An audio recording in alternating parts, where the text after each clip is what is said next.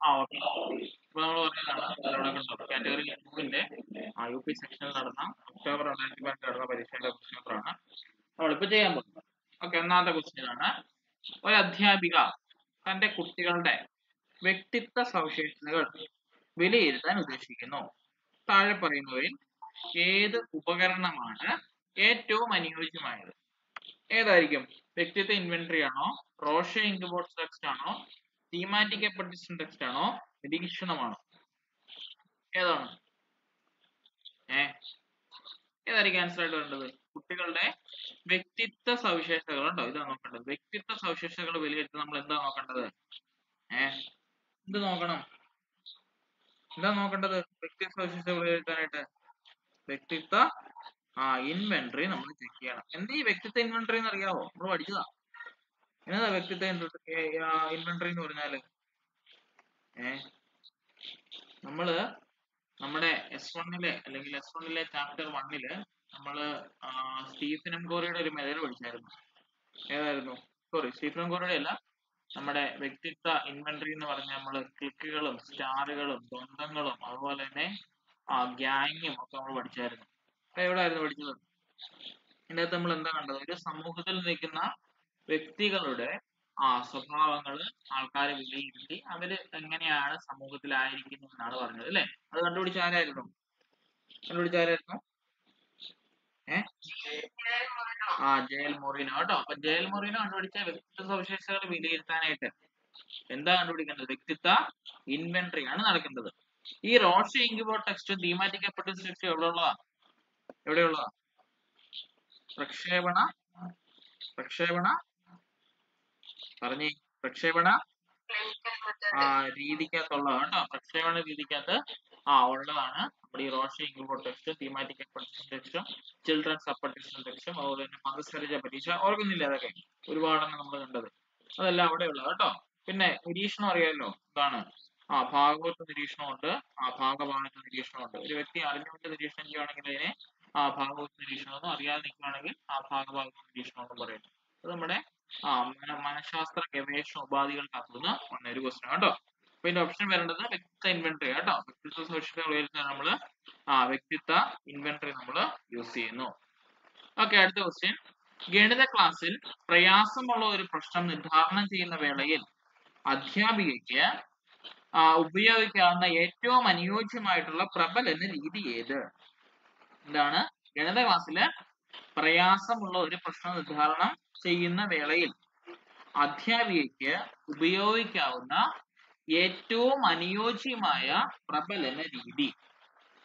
അതായത് ഒരു ക്വസ്റ്റ്യൻ പാടുള്ള ഒരു ക്വസ്റ്റ്യൻ കണ്ടോ? പ്രയാസമുള്ള ഒരു പ്രശ്നമാണ്. ഒരു വലിയൊരു തിയറോ കാര്യങ്ങളോ എല്ലാം ഗണിത ക്ലാസ്സിൽ പഠിപ്പിക്കുക. അപ്പൊ അവിടെ വരുമ്പം എന്താണ്? ഒരു ഗണിത അധ്യാപികയ്ക്ക് ഏറ്റവും അനുയോജ്യമായിട്ടുള്ള പ്രബലന രീതി ഏതായിരിക്കും? നല്ലത്. റീഇൻഫോഴ്സ്മെന്റ് മെത്തേഡ് ഏതായിരിക്കും നല്ലത്? ഒന്നാമത് കൊടുത്തിരിക്കുന്നത് തുടർച്ചയായ പ്രബലനം അതായത് കണ്ടിന്യൂസ് ആയിട്ട് ആ വർക്കുകൾ അതേ മോഡലും അതേപോലുള്ള പാറ്റേണിലും ഒക്കെ ചെയ്യാനുള്ള തുടർച്ചയായിട്ടുള്ള പ്രബലനം കണ്ടിന്യൂസ് റീഇൻഫോഴ്സ്മെന്റ് കൊടുക്കുക. അല്ലെങ്കിൽ നിശ്ചിത ഇടവേളയിലുള്ള പ്രബലനം കൊടുക്കുക. അതായത് ഇന്നൊന്ന് ജയിച്ചു രണ്ടു ദിവസം കഴിഞ്ഞ് വീണ്ടും ജയിച്ചു അതിന് നാല് ദിവസം കഴിഞ്ഞ് വീണ്ടും ജയിച്ചു അങ്ങനെ ചെയ്യുന്നതാണോ? അത് നിശ്ചിത അനുപാതത്തിലുള്ള പ്രബലനം ഇന്ന് മൂന്ന് ക്വസ്റ്റ്യൻ നാളെ ആറ് ക്വസ്റ്റ്യൻ അതിന് ഒമ്പത് ക്വസ്റ്റ്യൻ അതിന് പന്ത്രണ്ട് ക്വസ്റ്റ്യൻ അങ്ങനെ ചെയ്യുന്നതാണോ? അതോ അനിശ്ചിത പ്രബലനോ? അതോ ഒന്നും ചെയ്യാതിരിക്കുന്നതാണോ നല്ലത്? ഇതിൽ ഏതായിരിക്കും ഏറ്റവും നല്ലത്? ഏറ്റവും അനുയോജ്യമായിട്ടുള്ള ഏതായിരിക്കും? ഏ? ഏതായിരിക്കും തോന്നുന്നത്? ഏറ്റവും അനുയോജ്യമായിട്ട് തോന്നുന്നത്? പ്രയാസമുള്ള പ്രശ്നം എന്താണ് ചെയ്യുന്ന ഗണിത ക്ലാസ് ഏതായിരിക്കും കൂടുതൽ അനുയോജ്യമായിട്ട് പ്രബലന രീതിക്കകത്ത് വരുന്നത്? ഏ? എ ആണോ ബി ആണോ സി ആണോ ഡി ആണോ? ആ എ കേട്ടോ. എന്താണ് തുടർച്ചയായിട്ടുള്ള പ്രബലനം നൽകിക്കൊണ്ടിരിക്കണം അല്ലെ? കാരണം എന്നാ പ്രയാസമുള്ള പ്രശ്നം എന്താണ് ചെയ്തുകൊണ്ടിരിക്കുന്നത് അപ്പം പ്രയാസമുള്ള പ്രശ്നം നിർദ്ധാരണം ചെയ്യുമ്പോൾ തുടർച്ചയായിട്ട് നമ്മൾ അതിനെ നമ്മൾ പറഞ്ഞിട്ടില്ല റിപ്പീറ്റഡ് ലേണിംഗ് അല്ലെ? എന്താണ്? കണ്ടിന്യൂസ് ആയിട്ട് നമ്മൾ കാര്യങ്ങൾ പറഞ്ഞു കൊടുക്കുമ്പോൾ അത് കുട്ടികളുടെ മനസ്സിലിരിക്കും. അതുകൊണ്ടാണ് നമ്മൾ പറഞ്ഞത് തന്നെ തന്നെയും പിന്നെയും തന്നെയും പിന്നെയും തന്നെയും പിന്നെയും പറഞ്ഞുകൊണ്ടിരിക്കുന്നത്. അപ്പൊ നമുക്ക് എന്താണ് നമ്മുടെ മനസ്സിലിരിക്കും ഇത് അവിടെ കേട്ടതല്ലേ? ഇത് ഇവിടെ അങ്ങോട്ട് ബന്ധമുള്ളതല്ലേ? ഇങ്ങനെ നമ്മൾ ഓർത്തിരിക്കും. അപ്പൊ കണ്ടിന്യൂസ് ആയിട്ട് നമ്മൾ പറഞ്ഞു കൊടുത്തെങ്കിൽ കണ്ടിന്യൂസ് ആയിട്ട് നമ്മൾ റീഎൻഫോഴ്സ്മെന്റ് കൊടുത്താൽ എന്ത് സംഭവിക്കും? അവരുടെ മനസ്സിന് അത് നിൽക്കും അല്ലാതെ നിശ്ചിത ഇടവേളയിലോ അതുപോലെ നിശ്ചിത അനുഭവത്തിലോ ഒക്കെ കൊടുത്താൽ ആ മർമ്മം മറന്നു പോകും. ശരിയല്ലേ? അതാണ് അതിന്റെ പ്രശ്നം വരുന്നത്. അതാണ് രണ്ടാമത്തെ ക്വസ്റ്റിന്റെ ആൻസർ കേട്ടോ. ഒന്നാമത്തെ ക്വസ്റ്റ്യൻ ആൻസർ തുടർച്ചയായിട്ടുള്ള പ്രബലന ഓപ്ഷൻ എ ആണ് ആൻസർ വരേണ്ടത് ഓക്കെ മൂന്നാമത്തെ ക്വസ്റ്റ്യൻ വ്യക്തികൾക്കിടയിൽ ഒന്നോ അതിലധികമോ സ്വഭാവങ്ങളുള്ള വ്യതിയാനങ്ങളെ അറിയപ്പെടുന്നത് വ്യക്തി വ്യത്യാസം വൈകല്യം പ്രതിഭാനത പിന്നോക്കാവസ്ഥ എന്താണ്? വ്യക്തികൾക്കിടയിൽ ഒന്നോ അതിലധികമോ സ്വഭാവമുള്ള വ്യതിയാനങ്ങൾ നമ്മൾ പഠിച്ചിട്ടുണ്ട് എവരി മൈനീസ് യുണീക്ക് എന്ന്. അതവിടെ ചോദിച്ചിരിക്കുന്നത് അപ്പൊ ഒന്നോ അതിലധികമോ ആ വ്യക്തി വ്യത്യാസമുള്ള ആൾക്കാരെ നമ്മൾ എന്നാ പറയും? എന്നാ പറയുന്നത് വ്യക്തി വ്യത്യാസം എന്നാണോ? വൈകല്യം എന്നാണോ? പ്രതിപാദനം എന്നാണോ അതോ പിന്നോക്കാവസ്ഥ നേരിടുന്നതാണോ? എന്നാ പറയുന്നത്? ഇപ്പൊ നമ്മൾ പറഞ്ഞിട്ടുണ്ട് അല്ലെ ഓരോ മനുഷ്യനും അനന്യനാണെന്ന് പറയും. എന്ന് പറഞ്ഞാൽ എന്താണ്? ഒരാളുടെ കഴിവുകളോ കാഴ്ചപ്പാടുകളോ ചിന്താരീതികളോ ബുദ്ധിയോ വളർച്ചയോ വികാസമോ ഇതൊന്നും മറ്റൊരാളിൽ അതേപടി കാണില്ല. അപ്പൊ അങ്ങനെ വരുമ്പോൾ അവിടെ എന്തുണ്ട്? ശരിയായിട്ടുള്ള രീതിയിൽ വ്യക്തി വ്യത്യാസമുണ്ട്. ശരിയല്ലേ? ഓരോ വ്യക്തിയും ആ വ്യത്യസ്ത രീതിയിലാണ് നമ്മൾ ആ ഡെവലപ്പ് ആയി വന്നിരിക്കുന്നത്. അപ്പൊ അതുകൊണ്ട് എന്താണ്? വ്യക്തികൾക്കിടയിൽ ഒന്നോ അതിലധികമോ ഉള്ള സ്വഭാവത്തിലുള്ള വ്യതിയാനങ്ങൾ നമ്മൾ പറയുന്നത് വ്യക്തി വ്യത്യാസമാണ്. വൈകല്യം എന്നാന്നറിയാം അല്ലേ? എന്താ വൈകല്യം? എന്തെങ്കിലും ആ പ്രശ്നം നേരിടുന്നവരുണ്ടെങ്കിൽ ഇപ്പൊ പഠന വൈകല്യമാകാം ലേണിംഗ് ഡിസബിലിറ്റീസ് ആകാം അല്ലെങ്കിൽ നമ്മുടെ എന്താണ് ബോഡിയിലേക്ക് കാന്റിക്സ് ഡിസബിലിറ്റീസ് ആകാം അഥവാ നമ്മുടെ ഇന്റലക്ച്വൽ ആയിട്ടുള്ള ഡിസബിലിറ്റീസ് ആവാം എന്തുവാണെങ്കിലും അതിന് പറയുന്ന പേരാണ് വൈകല്യം. പിന്നെയുള്ളതാണ് പ്രതിഭാതര എക്സ്ട്രാ ഓർഡിനറി ഉദ്ദേശിക്കുന്നത് അല്ലെങ്കിൽ ഗിഫ്റ്റഡ് ഉദ്ദേശിക്കുന്ന അവിടെ. അപ്പൊ അതും ഒരിക്കലും ഇതാകത്തില്ല. പിന്നെയുള്ളത് തന്നെ പിന്നോക്കാവസ്ഥ അഥവാ നമ്മൾ പറയില്ലേ എന്താ ബിലോ പോവർട്ടി അല്ലെങ്കിൽ നമ്മൾ പുറകോട്ട് അടിച്ചമർത്തപ്പെട്ട വിഭാഗം. അതാണ് പിന്നോക്കാവസ്ഥ അത് ഒരിക്കലും വ്യക്തി വ്യത്യാസങ്ങളുടെ സ്വഭാവങ്ങൾ തിരിച്ചറിയാൻ സഹായിക്കില്ല എപ്പോഴും ആ വ്യക്തി വ്യത്യാസമാണ് ആ ഒന്നതിലധികമുള്ള സ്വഭാവ സവിശേഷതകളെ മനസ്സിലാക്കാനായിട്ട് നമുക്ക് സഹായിക്കുന്നത്. ഓക്കെ ആൻസർ എ ആണ്. അടുത്ത ക്വസ്റ്റ്യൻ ഭൂപടം നന്നായി വായിച്ച് മനസ്സിലാക്കുന്ന ഒരു വിദ്യാർത്ഥി ഊന്നൽ നൽകുന്നത് ഏതിനായിരിക്കും? യുക്തി ഗണിത ബുദ്ധിക്കാണോ? ദൃശ്യസ്ഥലപര ബുദ്ധിക്കാണോ? പാരിസ്ഥിതിക ബുദ്ധിക്കാണോ? ഭാഷാപരമായിട്ടുള്ള ബുദ്ധിക്കാണോ? ഏത് ബുദ്ധിക്കാണ്? ഏ? ഭൂപടം നന്നായിട്ട് വായിച്ചു മനസ്സിലാക്കുന്ന ബുദ്ധി. ഏതാണ്? സി ആണ് പറഞ്ഞത് അതോ ബി ആണ് പറഞ്ഞത്? ഏ? ദൃശ്യസ്ഥലപരമാണോ? ആ ദൃശ്യസ്ഥലപരമാണെങ്കിൽ അത് ആൻസർ കേട്ടോ. കാരണം നമുക്കറിയാൻ പറ്റും ഭൂപടം നന്നായിട്ട് വായിച്ച് മനസ്സിലാക്കണം അല്ലേ? ഒരു ഭൂപടം നന്നായിട്ട് വായിച്ചു മനസ്സിലാക്കണമെങ്കിൽ എന്ത് വേണം? ദൃശ്യ സ്ഥലപരമായിട്ടുള്ള ബുദ്ധി വേണം. ഒരു സ്കെയിൽ ഇത്ര മീറ്റർ അല്ലെങ്കിൽ ഇത്ര കിലോമീറ്റർ അല്ലെങ്കിൽ ഇത്ര ആ നാനോമീറ്റർ എന്നൊക്കെ പറഞ്ഞ് എഴുതിയാൽ അതിന് എന്താണ് റെപ്രസെന്റ് ചെയ്യുന്നത് നമ്മൾ അറിഞ്ഞിരിക്കണം. അല്ലെ? അപ്പം ദൃശ്യ സ്ഥലപരമായിട്ടുള്ള ഒരു ബുദ്ധിയുള്ള ഒരു കൊച്ചിന് മാത്രമേ ഭൂപടം നന്നായി വായിച്ച് മനസ്സിലാക്കാനായിട്ടുള്ള കഴിവ് കിട്ടുകയുള്ളൂ യുക്തി ഗണിതപര ബുദ്ധി ഇവിടെ വരുമോ വരുമോ ഇതിനകത്ത് എന്തെങ്കിലും ഇന്റർവ്യൂ ആയിട്ട് പിന്നെ വല്ലതും ചെയ്യേണ്ടതായിട്ടുണ്ടോ? എന്തെങ്കിലും പ്രോബ്ലം സോൾവ് ചെയ്യാനോ അങ്ങനെ വല്ലതും ഉണ്ടോ? ഇല്ല. അങ്ങനെ ഉണ്ടെങ്കിൽ അത് യുക്തി ഗണിതപരമാണ് പാരിസ്ഥിതിക ബുദ്ധി എന്തുകൊണ്ട് വന്നില്ല? ഈ ഭൂപടം ഒന്ന് കാണുമ്പോൾ ചിലര് ഓടി പാരിസ്ഥിതിയിലേക്ക് പോകും. അതിനുള്ള കാരണം എന്നാ പരിസ്ഥിതിയുമായിട്ട് ബന്ധപ്പെട്ടതാണല്ലോ ഭൂപടം എന്ന് പറയുന്നത് പക്ഷെ അങ്ങനെ ഒരിക്കലും വിചാരിക്കില്ല. ഇവിടെ നോക്കിയ ഭൂപടം നന്നായിട്ട് വായിച്ച് മനസ്സിലാക്കുകയാണ് വേണ്ടത്. അല്ലാതെ പ്രകൃതിയെ സ്നേഹിക്കാനോ പ്രകൃതിയുമായിട്ട് ഇണചേരാനോ ചെടികൾ നട്ടു വളർത്താനോ അല്ലെങ്കിൽ പ്രകൃതിയെ കാത്തു സൂക്ഷിക്കാനോ പ്രകൃതിയെ അമ്മയെ പോലെ കാണാനോ അതൊന്നും ഇവിടെ പറയുന്നില്ല. ഭൂപടം നന്നായിട്ട് വായിച്ച് മനസ്സിലാക്കാൻ മാത്രമേ വേണ്ടുള്ളൂ. പാരിസ്ഥിതിക ബുദ്ധിയും വരത്തില്ല. ഇനി ഭാഷാപരാമതി എന്ന് പറഞ്ഞാൽ ലിംഗ്വിസ്റ്റിക് ഡെവലപ്മെന്റ് അല്ലേ? നമ്മുടെ എഴുത്ത് വായന ലേഖനം അതുപോലെ തന്നെ എന്താണ് എൽ എസ് ആർ ഡബ്ല്യു അല്ലേ? Learning listening sorry learning speaking reading writing അല്ലേ? അപ്പൊ ആ നാല് സ്കിൽസ് ആണ് ഭാഷാപരമായ ബുദ്ധിക്കകത്ത് വരുന്നത് ഒരിക്കലും ഭൂപടം വായിച്ച് മനസ്സിലാക്കുന്നതിനകത്തുള്ളത് ആ ഭാഷാപരമായിട്ടുള്ള ഇല്ല ഇത് ആര് കണ്ടുപിടിച്ച? ഈ ബുദ്ധികളെല്ലാം? ആരുടെ കുട്ടികളെല്ലാം ഏ? എന്താ? ആരുടെ? എന്തോ ഞാൻ കേട്ടു. എന്നാ ആരുടെ ബുദ്ധി? M I R M I Howard Gardner കേട്ടോ. മൾട്ടിപ്പിൾ ഇന്റൻസ് ഹൊവാർഡ് ഗാർണറെയാണെന്ന് ഓർത്ത് വെക്കുക. മിക്കപ്പോഴും ചോദിക്കുന്നത് കേട്ടോ. അതിനകത്തുള്ള ആ എട്ടെണ്ണത്തിൽ നിന്ന് ഒന്നാണ് ഈ നാലെണ്ണം. അപ്പം ഇവിടെ നന്നായിട്ട് മനസ്സിലാക്കുന്നത് ദൃശ്യസ്ഥലപര ബുദ്ധി മറന്നു പോകരുത് കേട്ടോ. ഓക്കെ ഇനി അടുത്ത ക്വസ്റ്റ്യൻ നല്ല സമായോജനത്തിന്റെ അടിസ്ഥാനപരമായ സ്വഭാവ സവിശേഷത. എന്താ സമായോജനം എന്ന് പറഞ്ഞാൽ? ഏ? സമായോജനം എന്ന് പറഞ്ഞാൽ എന്നാ? ഓക്കെ. പ്രകൃതിയോടൊക്കെ ഇണങ്ങി ചേരാനുള്ള അഡ്ജസ്റ്റ്മെന്റ് എന്ന് പറയും ഇംഗ്ലീഷിൽ പറഞ്ഞാൽ അല്ലേ? അപ്പൊ നല്ല സമായോജനത്തിന് അടിസ്ഥാനപരമായ സ്വഭാവശേഷി എന്താണ്? നോക്കിയേ മറ്റുള്ളവരിലുള്ള ആത്മാർത്ഥപരമായ താല്പര്യം പ്രമുഖവും പൂർണവുമായ ചോദനങ്ങളുടെയും ലക്ഷ്യങ്ങളുടെയും സമ്പ്രദായം. അവനവന്റെ ലക്ഷ്യങ്ങൾ നേടുന്നതിനുള്ള സൂക്ഷ്മമായ ഉൾക്കാഴ്ച.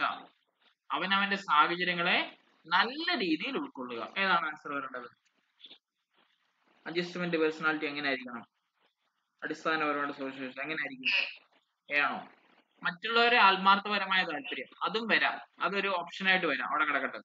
ഇത് വരുമോ പ്രമുഖവും പൂർണമായ ചോദ്യങ്ങൾ ലക്ഷ്യങ്ങളുടെ സമ്പ്രദായം. അയാൾക്ക് വേണ്ടി മാത്രം പ്രമുഖതയും അതുപോലെ തന്നെ പൂർണമായിട്ടുള്ള കാര്യങ്ങൾ മാത്രം കിട്ടാനുള്ള ഒരു വ്യക്തി അവനിൽ തന്നെ ഫോക്കസ് ചെയ്ത് അവിടെ ലക്ഷിക്കണം അപ്പൊ അതൊരിക്കലും വരത്തില്ല. പിന്നെ എന്താ ഉള്ളത്? അവനവന്റെ ലക്ഷ്യങ്ങൾ നേടുന്നതിനുള്ള സൂക്ഷ്മമായ ഉദ്ഘാടനം. അത് നമ്മുടെ എന്താ? ഇൻഡിപെൻഡന്റ് അല്ലെങ്കിൽ സ്വന്തമായിട്ട് ഞാൻ എന്റേത് എന്നുള്ള കാഴ്ചപ്പാട് ഇവിടെ വരുന്നത് അപ്പൊ അതും വരുന്നില്ല. പിന്നെ വരാൻ സാധ്യതയാണ്. അവനവന്റെ സാഹചര്യങ്ങൾ നല്ല രീതിയിൽ ഉൾക്കൊള്ളുക അപ്പൊ എയോ ഡിയോ ആകത്തുള്ളൂ. അപ്പൊ അതിൽ ഏതായിരിക്കും കൂടുതൽ ആപ്റ്റ് ആയിട്ടുള്ളത്? കൂടുതൽ ചേരുന്ന ഏതാന്ന് നോക്കി. ആ ഡി ആ. കേട്ടോ? അങ്ങനെ ഓപ്ഷൻ എലിമിനേറ്റ് ചെയ്ത് വന്നാൽ നമുക്ക് ഓപ്ഷൻ ശരിയാവാനുള്ള സാധ്യത വളരെ കൂടും ഞാൻ ഇന്നാൾ പറഞ്ഞു അല്ലേ? ഇപ്പൊ നാല് ഓപ്ഷൻ ഉണ്ടെങ്കിൽ അതിന്റെ തൊപ്പ് ബേസിലെ ഒന്നോ രണ്ടോ ഓപ്ഷൻ തെറ്റിച്ചേ തരത്തുള്ളൂ. ആ രണ്ടെണ്ണം എലിമിനേറ്റ് ചെയ്യുക ബാക്കി നിങ്ങൾ രണ്ടെണ്ണത്തിൽ നിന്ന് ഒരു ഉത്തരം ശരിയാക്കി നിങ്ങൾ ഫിഫ്റ്റി ഫിഫ്റ്റി ചാൻസ് ആണ് നിങ്ങൾക്ക് ഉത്തരം ശരിയായിട്ട് വരുന്നത് അല്ലെങ്കിലോ ട്വന്റി ഫൈവ് പെർസെന്റേജ് ചാൻസേ വരത്തുള്ളൂ. അതാണ് ഇതിന്റെ വ്യത്യാസം വരുന്നത്. ഇപ്പൊ നാല് ഓപ്ഷനിൽ നിങ്ങൾ ഇട്ട് കളിച്ചാൽ നിങ്ങളിപ്പം ഉത്തരം അറിയാത്ത ക്വസ്റ്റൻ ആണെങ്കിൽ നിങ്ങൾ ഇങ്ങനെ നാല് ഓപ്ഷൻ നിങ്ങൾ എടുത്ത് ഏതെങ്കിലും ഒരെണ്ണത്തിലോട്ട് കറക്കി കുത്താൻ പോയാൽ നിങ്ങൾക്ക് ഇത് ശരിയാക്കാനുള്ള സാധ്യത എത്രയായിരിക്കും? ഇരുപത്തിയഞ്ച് ശതമാനമായിരിക്കും ഇനിയും നിങ്ങൾ ഇതിനകത്ത് ഒരെണ്ണം നിങ്ങൾക്ക് ഉറപ്പായിട്ടും തെറ്റാന്നറിയാം അപ്പൊ അതിനെ എലിമിനേറ്റ് ചെയ്താൽ നിങ്ങൾ മൂന്നെണ്ണത്തിൽ നിന്ന് കറക്കി കുത്താൻ പോയാൽ നിങ്ങളുടെ ശതമാനം എത്രയായിരിക്കും? മുപ്പത്തി മൂന്ന് പോയിന്റ് മൂന്നാവും ഇനി നിങ്ങൾക്ക് രണ്ടെണ്ണം തെറ്റാന്നറിയാം ആ രണ്ടെണ്ണത്തിൽ നിന്ന് പറഞ്ഞാൽ ശരിയാക്കാനുള്ള സാധ്യത എത്രയായിട്ട് മാറും? അമ്പത് ശതമാനമായിട്ട് മാറും. കണ്ടോ? അതാണ് അതിന്റെ വ്യത്യാസം. അപ്പം നിങ്ങൾ ഓപ്ഷൻ എലിമിനേറ്റ് ചെയ്യാൻ പറ്റുമെങ്കിൽ ആ മെത്തേഡാണ് കൂടുതൽ നല്ലത്. അതിൽ നിന്ന് ഏറ്റവും ആപ്റ്റ് ആയിട്ടുള്ള തിരഞ്ഞെടുത്താൽ നമുക്ക് ഉത്തരം ശരിയാനുള്ള സാധ്യതകൾ അവിടെ കൂടിക്കൊണ്ടിരിക്കും കേട്ടോ. അപ്പൊ ആ രീതിയിൽ നിങ്ങൾ ചെയ്യുക. ഓപ്ഷൻ ഡി ആണ് ഇതിന്റെ ആൻസർ ആയിട്ട് വരുന്നത് കേട്ടോ. അവനവന്റെ സാഹചര്യങ്ങളെ നല്ല രീതിയിൽ ഉൾക്കൊള്ളുക. നമ്മൾ എപ്പോഴും എന്തൊക്കെ കാണുന്നത് അല്ലേ? വെൽ അഡ്ജസ്റ്റ് പേഴ്സൺ അല്ലെങ്കിൽ മാൽ അഡ്ജസ്റ്റ് പേഴ്സൺ ഒക്കെ വെൽ അഡ്ജസ്റ്റ് പേഴ്സൺ എപ്പോഴും എന്തായിരിക്കും? ആ ഞാൻ ആരാണെന്ന് അവനവന്റെ കഴിവും കഴിവുകേടുകളും തിരിച്ചറിയാനും അതുപോലെ തന്നെ മറ്റുള്ളവരെ ആ നല്ല രീതിയിൽ ഉൾക്കൊള്ളാനും ഒക്കെ സന്നദ്ധരായിട്ടുള്ള വ്യക്തികളാണ് സമായോജനത്തിന്റെ അടിസ്ഥാന അല്ലെങ്കിൽ അടിസ്ഥാന ആ പരമായിട്ട് സമായോജനമുള്ളവരെന്ന് പറയില്ല അഡ്ജസ്റ്റഡ്. എല്ലാ കാര്യവും ഒന്ന് അഡ്ജസ്റ്റ് ചെയ്ത് വലിയ പ്രശ്നങ്ങളൊന്നും ഇല്ലാതെ നമ്മൾ മുൻപോട്ട് പോകാം അങ്ങനെയാണ് അഡ്ജസ്റ്റഡ് പേഴ്സണാലിറ്റി അല്ലെങ്കിൽ സമായോജനമുള്ള ആ പേഴ്സണാലിറ്റീസ് എന്ന് പറയുന്നത്. കേട്ടോ? ഇത് എവിടെ പഠിച്ചതാ? എസ് വൺ ആണോ എസ് ടു ആണോ? ഏ? എവിടെയാ? പഠിച്ചത്? ആ എസ് വണ്ണിലും കേട്ടോ? സമായോജന ക്രിയാതന്ത്രങ്ങൾ ഓർക്കുന്നുണ്ടോ? ഓർക്കുന്നുണ്ടോ? നിഷേധം ദമനം താതാത്മീകരണം യുക്തീകരണം അനുപൂരണം പ്രക്ഷേപണം ആക്രമണം ഇതൊക്കെ. ഏ. ആ ഒക്കെ വരുന്നുണ്ട് കേട്ടോ. താഴോട്ട് വരുന്നുണ്ട്. അപ്പൊ ഞാൻ ചോദിക്കാം. കേട്ടോ? ഓക്കെ. പിന്നെ ഓപ്ഷൻ ഓപ്ഷൻ ഡി ആണ്. അടുത്തേക്ക്. പിയാഷെ പറയുന്നു. പഠനം നടക്കുന്നതിന് കാരണം എന്താണ്? പഠിതാവിന്റെ സാമൂഹികമായിട്ടുള്ള ഇടപെടലിലൂടെയാണോ പഠനം നടക്കുന്നത്? അതോ സഹപാഠികളുമായിട്ടുള്ള പഠനങ്ങളിലൂടെയാണോ? ഭൗതികമായിട്ടുള്ള പ്രവർത്തനങ്ങളിലൂടെയാണോ? കൈത്താങ്ങിലൂടെയാണോ പിയാഷ പറയുന്നതാണ് കേട്ടോ. ബാക്കി ആരുടെയൊന്നും തപ്പിപ്പോലെ പിയാഷ എന്താ പറഞ്ഞത്? ജീൻ പിയാഷെ ഇതിനെ പറ്റിയാ പറഞ്ഞത്? ഏ? പിയാഷെ. എ ബി സി ഡി ആലോചിച്ച് നോക്കി. ഏ? ഇതിനെ എന്നാ പറഞ്ഞത്? ഇതും പറഞ്ഞ കേട്ടില്ല. ഏതാ ആൻസർ വരേണ്ടത്? കൈത്താങ് ആണോ കൈത്താങ് ആരുടെയാ വിൻസി? ആലോചിച്ച് നോക്കി പിയാഷയുടെ ആണോ കൈത്താങ്ങുമായിട്ട് വന്നത്? പിയാഷയാണോ കൈത്താങ് എന്ന് ആശയം മുന്നോട്ട് കൊണ്ടുവന്നത് ആണോ? അല്ല. അപ്പൊ ആരാ കൈത്താങ് എന്ന് ആശയം മുന്നോട്ട് കൊണ്ടുവന്നത്? വൈഗോസ്കി. കേട്ടോ? ലീവ് വൈഗോസ്കി ആണ് ആ നമ്മുടെ കൈത്താങ് സ്കഫോൾഡിങ് അല്ലേ? നമ്മുടെ പറയത്തില്ലേ എന്താണ് സോൺ ഓഫ് പ്രോക്സിമൽ ഡെവലപ്മെന്റ് അതുപോലെ തന്നെ എന്താണ് C I L P I L current ability ലെവലും പൊട്ടൻഷ്യൽ എബിലിറ്റി ലെവലും അതിന്റെ ഇടയ്ക്ക് നിൽക്കുന്നത് സ്കഫോൾഡിങ് കുട്ടിക്ക് എത്തിച്ചേരാവുന്ന നിലയും കുട്ടി മറ്റുള്ള സഹായത്താൽ കുട്ടി എത്തിച്ചേരുന്ന നിലയും അല്ലെ? ഇങ്ങനെയൊക്കെ പറഞ്ഞ് പഠിച്ചതല്ലേ? ഇങ്ങനെ ഒരു ഗ്രാഫ് ഒക്കെ പഠിച്ചതല്ലേ? ഇങ്ങനെ ഇങ്ങനെയൊക്കെ വെച്ചിട്ടുണ്ട് പിന്നെ അടുക്കുള്ള ഈ ലെവലാണ് ഇസഡ് പി ഡി അതെല്ലാം ആരുടെയാണ്? വൈഗോസ്കിയുടെ പിയാഷയുടെ അല്ല. അപ്പൊ പിന്നെ ഈ ഒന്നാം നോക്കിയേ പഠിതാവിന്റെ സാമൂഹികമായിട്ട് ഇടപെടൽ. പ്രിയാശ പറഞ്ഞിട്ടുണ്ടോ? സമൂഹമായിട്ട് ഇടപെട്ടുകൊണ്ട് കുട്ടികൾ പഠിക്കുമെന്ന്? പറഞ്ഞിട്ടുണ്ടോ? ഉണ്ടോ? പ്രിയാശ എവിടെയെങ്കിലും പറഞ്ഞായിരുന്നോ? സമൂഹമായിട്ട് ഇടപെട്ടുകൊണ്ട് കുട്ടികൾ പഠിക്കുമെന്ന്? പറഞ്ഞായിരുന്നോ? ഇല്ല. പിന്നെ സഹപാഠികളുടെ വെള്ളം. അതും സമൂഹമായിട്ട് പറയുന്ന. അപ്പൊ അത് വരുന്നുണ്ടോ? ഇല്ല. പിന്നെ ഭൗതിക പ്രവർത്തനം. ഇന്റലക്ച്വൽ ആയിട്ടാണോ കുട്ടികൾ പഠിക്കുന്നതാണോ പിയാഷ പറഞ്ഞത്? ആണോ? ആണോ? ആ അതെ. കേട്ടോ? നമ്മൾ പഠിച്ചില്ലേ? ഇന്ദ്രിയ ജാലഘട്ടം പ്രാഗ്മന വ്യാപാരഘട്ടം മൂർത്തവന വ്യാപാരഘട്ടം ഔപചാരികവന വ്യാപാരഘട്ടം ഓർക്കുന്നുണ്ടോ? അസിമിലേഷൻ അക്കോമഡേഷൻ അതുപോലെ തന്നെ സംസ്ഥാപനം സാംശീകരണം സ്കീമ ഇതൊക്കെ ഇതുമായിട്ട് ബന്ധപ്പെട്ടതാ. ബുദ്ധിയുമായിട്ട് ബന്ധപ്പെട്ടതല്ലേ? ഓർക്കുന്നില്ലേ? പിയാഷയായിട്ട് ബന്ധപ്പെട്ടതല്ലേ ഈ വാക്കുകളും ഈ ടേംസും ഒക്കെ? പ്രീ ഓപ്പറേഷണൽ സ്റ്റേജ് ആ post operational stage complete operational stage ആ ഇതൊക്കെ പഠിച്ചില്ലേ? സെൻസറി മോട്ടോർ സ്റ്റേജ് ഏതാ ഇന്ദ്രിയകാലഘട്ടം കൂപ്പനകാലഘട്ടം മാമോനകാലഘട്ടം ഉപചാരകാലം അതായത് ഉദ്ദേശിച്ച് ഇംഗ്ലീഷ് പറയുന്നേ ഉള്ളൂ. അപ്പൊ അതൊക്കെ ആരുടെയാ? പിയാശയുടെ അപ്പം ഭൗതികമായിട്ടുള്ള കാര്യങ്ങൾ അല്ലെങ്കിൽ ആ നമ്മുടെ ഇന്റലക്ച്വൽ ആയിട്ടുള്ള കാര്യങ്ങൾ നമ്മൾ എപ്പോഴും കേൾക്കുന്ന അല്ലെ? സ്കീമ അതുപോലെ തന്നെ അക്കോമഡേഷൻ അസിമിലേഷൻ അതുപോലെ തന്നെ ഇക്വിലിബ്രിയം ഇതൊക്കെ ആരുടെ വാക്കുകളാ? ആരുടെ വാക്കുകളാ? പിയാശയുടെ വാക്കുകൾ കേട്ടോ? ആ മറന്നു പോകരുത് അപ്പം പിയാഷെ പറഞ്ഞ എന്താണ്? പഠനം നടക്കുന്നത് ഭൗതികമായിട്ടുള്ള പ്രവർത്തനങ്ങളിലൂടെയാണെന്നാണ് പിയാഷെ പറയുന്നത്. കൈത്താങ് ഒരിക്കലും എടുത്ത് പറയരുത്. കേട്ടോ കൈത്താങ് ആരുടെ വാക്കാ? നല്ല വാക്കാ കൈത്താങ്? ആ വൈഗോസ്കിയുടെ കേട്ടോ. മറന്നു പോകരുത്. ആൾക്കാരുടെ പേര് തമ്മിൽ മറന്നു പോകരുത് കേട്ടോ. ഒരുപാട് വട്ടം പറഞ്ഞു ഞാൻ വീണ്ടും വീണ്ടും പറഞ്ഞു തരാം എനിക്ക് കുഴപ്പമൊന്നുമില്ല. പഠിക്കണം കേട്ടോ. മഴയുടെ സൗണ്ട് നിങ്ങൾക്ക് ഡിസ്റ്റർബൻസ് ആവുന്നുണ്ടോ? ഉണ്ടോ? ഇല്ല. അതേലും നന്നായി. ഓക്കെ അടുത്ത ക്വസ്റ്റിനൊക്കെ മണ്ട പഠിതാക്കളെ പഠിപ്പിക്കാൻ ഉപയോഗിക്കാവുന്ന ഏറ്റവും അനുയോജ്യമായിട്ടുള്ള രീതി ഏതാണ്? അതായത് നമുക്കറിയാൻ പറ്റും മത്തപഠിതാക്കൾ എന്ന് വെച്ചാൽ അറിയാലോ ബിലോ ആവറേജ് ലെവൽ ഉദ്ദേശിക്കുന്നത്. അപ്പം അവരെ പഠിപ്പിക്കാൻ ഉപയോഗിക്കുന്ന ഏറ്റവും അനുയോജ്യമായിട്ടുള്ള രീതി ഏതാണ്? ഒന്നാമത്തേത് വളരെ സങ്കീർണമായ പ്രവർത്തനം നൽകി അവരുടെ പ്രയാസവുമായി പൊരുത്തപ്പെടുക. രണ്ടാമത്തേത് അവർക്ക് ചെയ്യാൻ കഴിയുന്ന പ്രവർത്തനങ്ങൾ മാത്രം നൽകി അവരെ പ്രാപ്തരാക്കുക.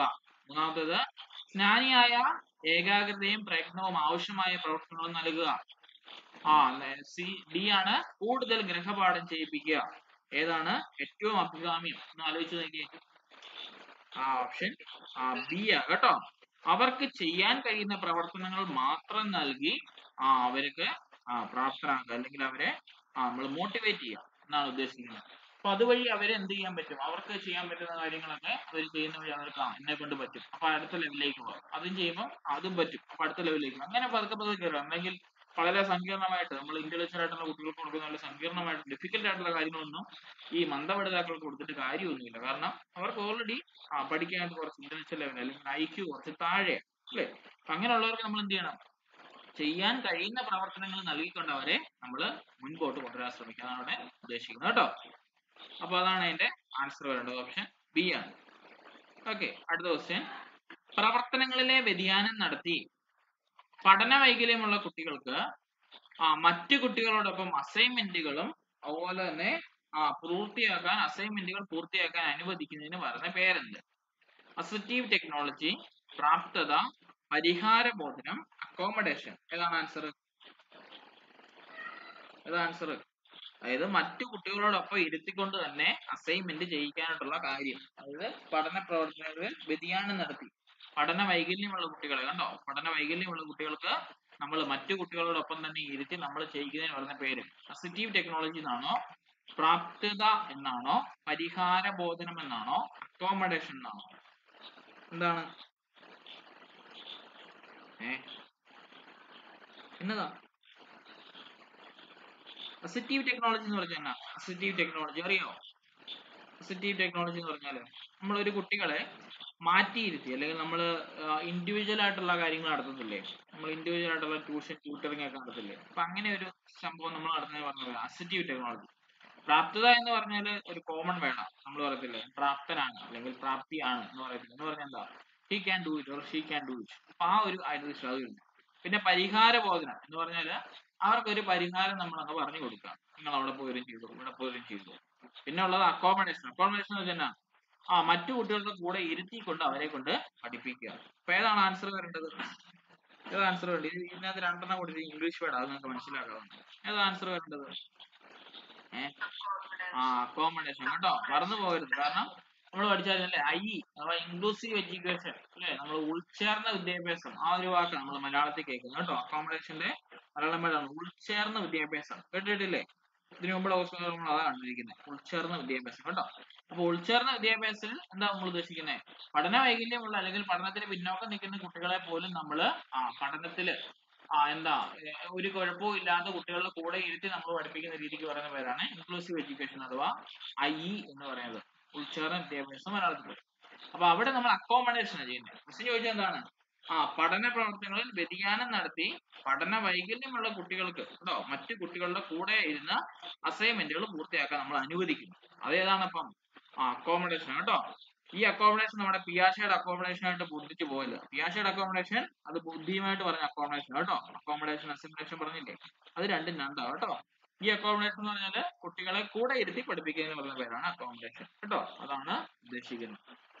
ഓക്കെ അടുത്ത ക്വസ്റ്റ്യൻ കുട്ടികളിലെ അക്രമ സ്വഭാവം കൈകാര്യം ചെയ്യുന്ന ഏറ്റവും അനുയോജ്യമായിട്ടുള്ള മാർഗം.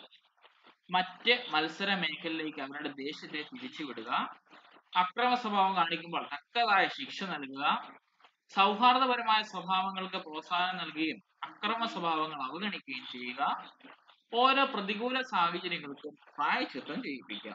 ഏതായിരിക്കും കൂടുതൽ നല്ലത്? ഏ? കൂടുതൽ നല്ലത് ഏതായിരിക്കും?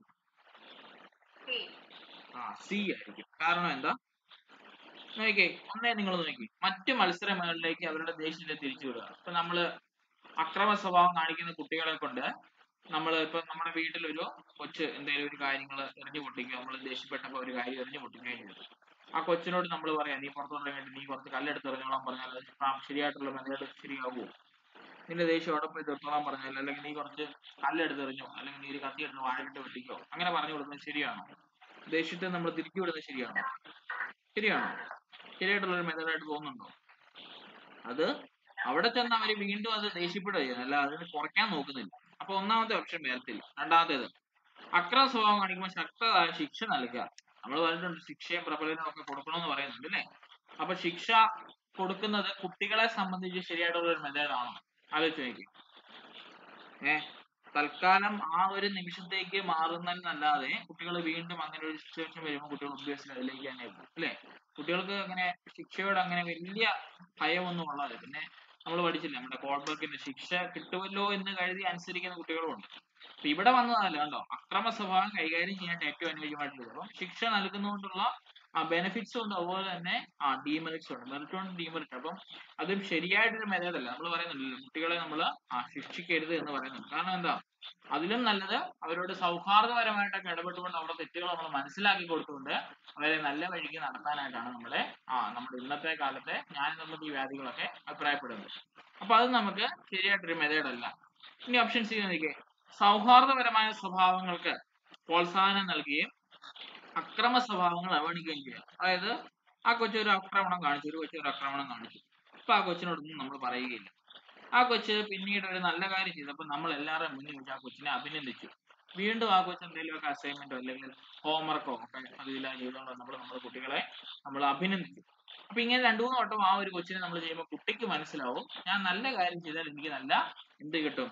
ആ മറ്റുള്ള നല്ല പ്രശംസയും കാര്യങ്ങളും എല്ലാം കിട്ടുമെന്ന് കുട്ടികൾക്ക് ഒരു ബോധം വരും. അതുകൊണ്ട് കുട്ടികൾ അതിലേക്ക് മാറാൻ ശ്രമിക്കും. കുട്ടികൾ ഉണ്ടാകുന്ന ആ പഴയ ആ അക്രമ സ്വഭാവം കുട്ടികൾ ഗ്രാജുവലി മാറ്റും. പതുക്കെ പതുക്കെ മാറ്റും. ഒറ്റയടിക്ക് മാറത്തില്ല. പതുക്കെ പതുക്കെ മാറ്റും. അപ്പൊ ഓപ്ഷൻ സി ആണ് നിങ്ങൾ ആ ചെയ്യേണ്ടത്. എന്താണ്? സൗഹാർദ്ദപരമായ സ്വഭാവങ്ങൾക്ക് പ്രോത്സാഹനം നൽകണം.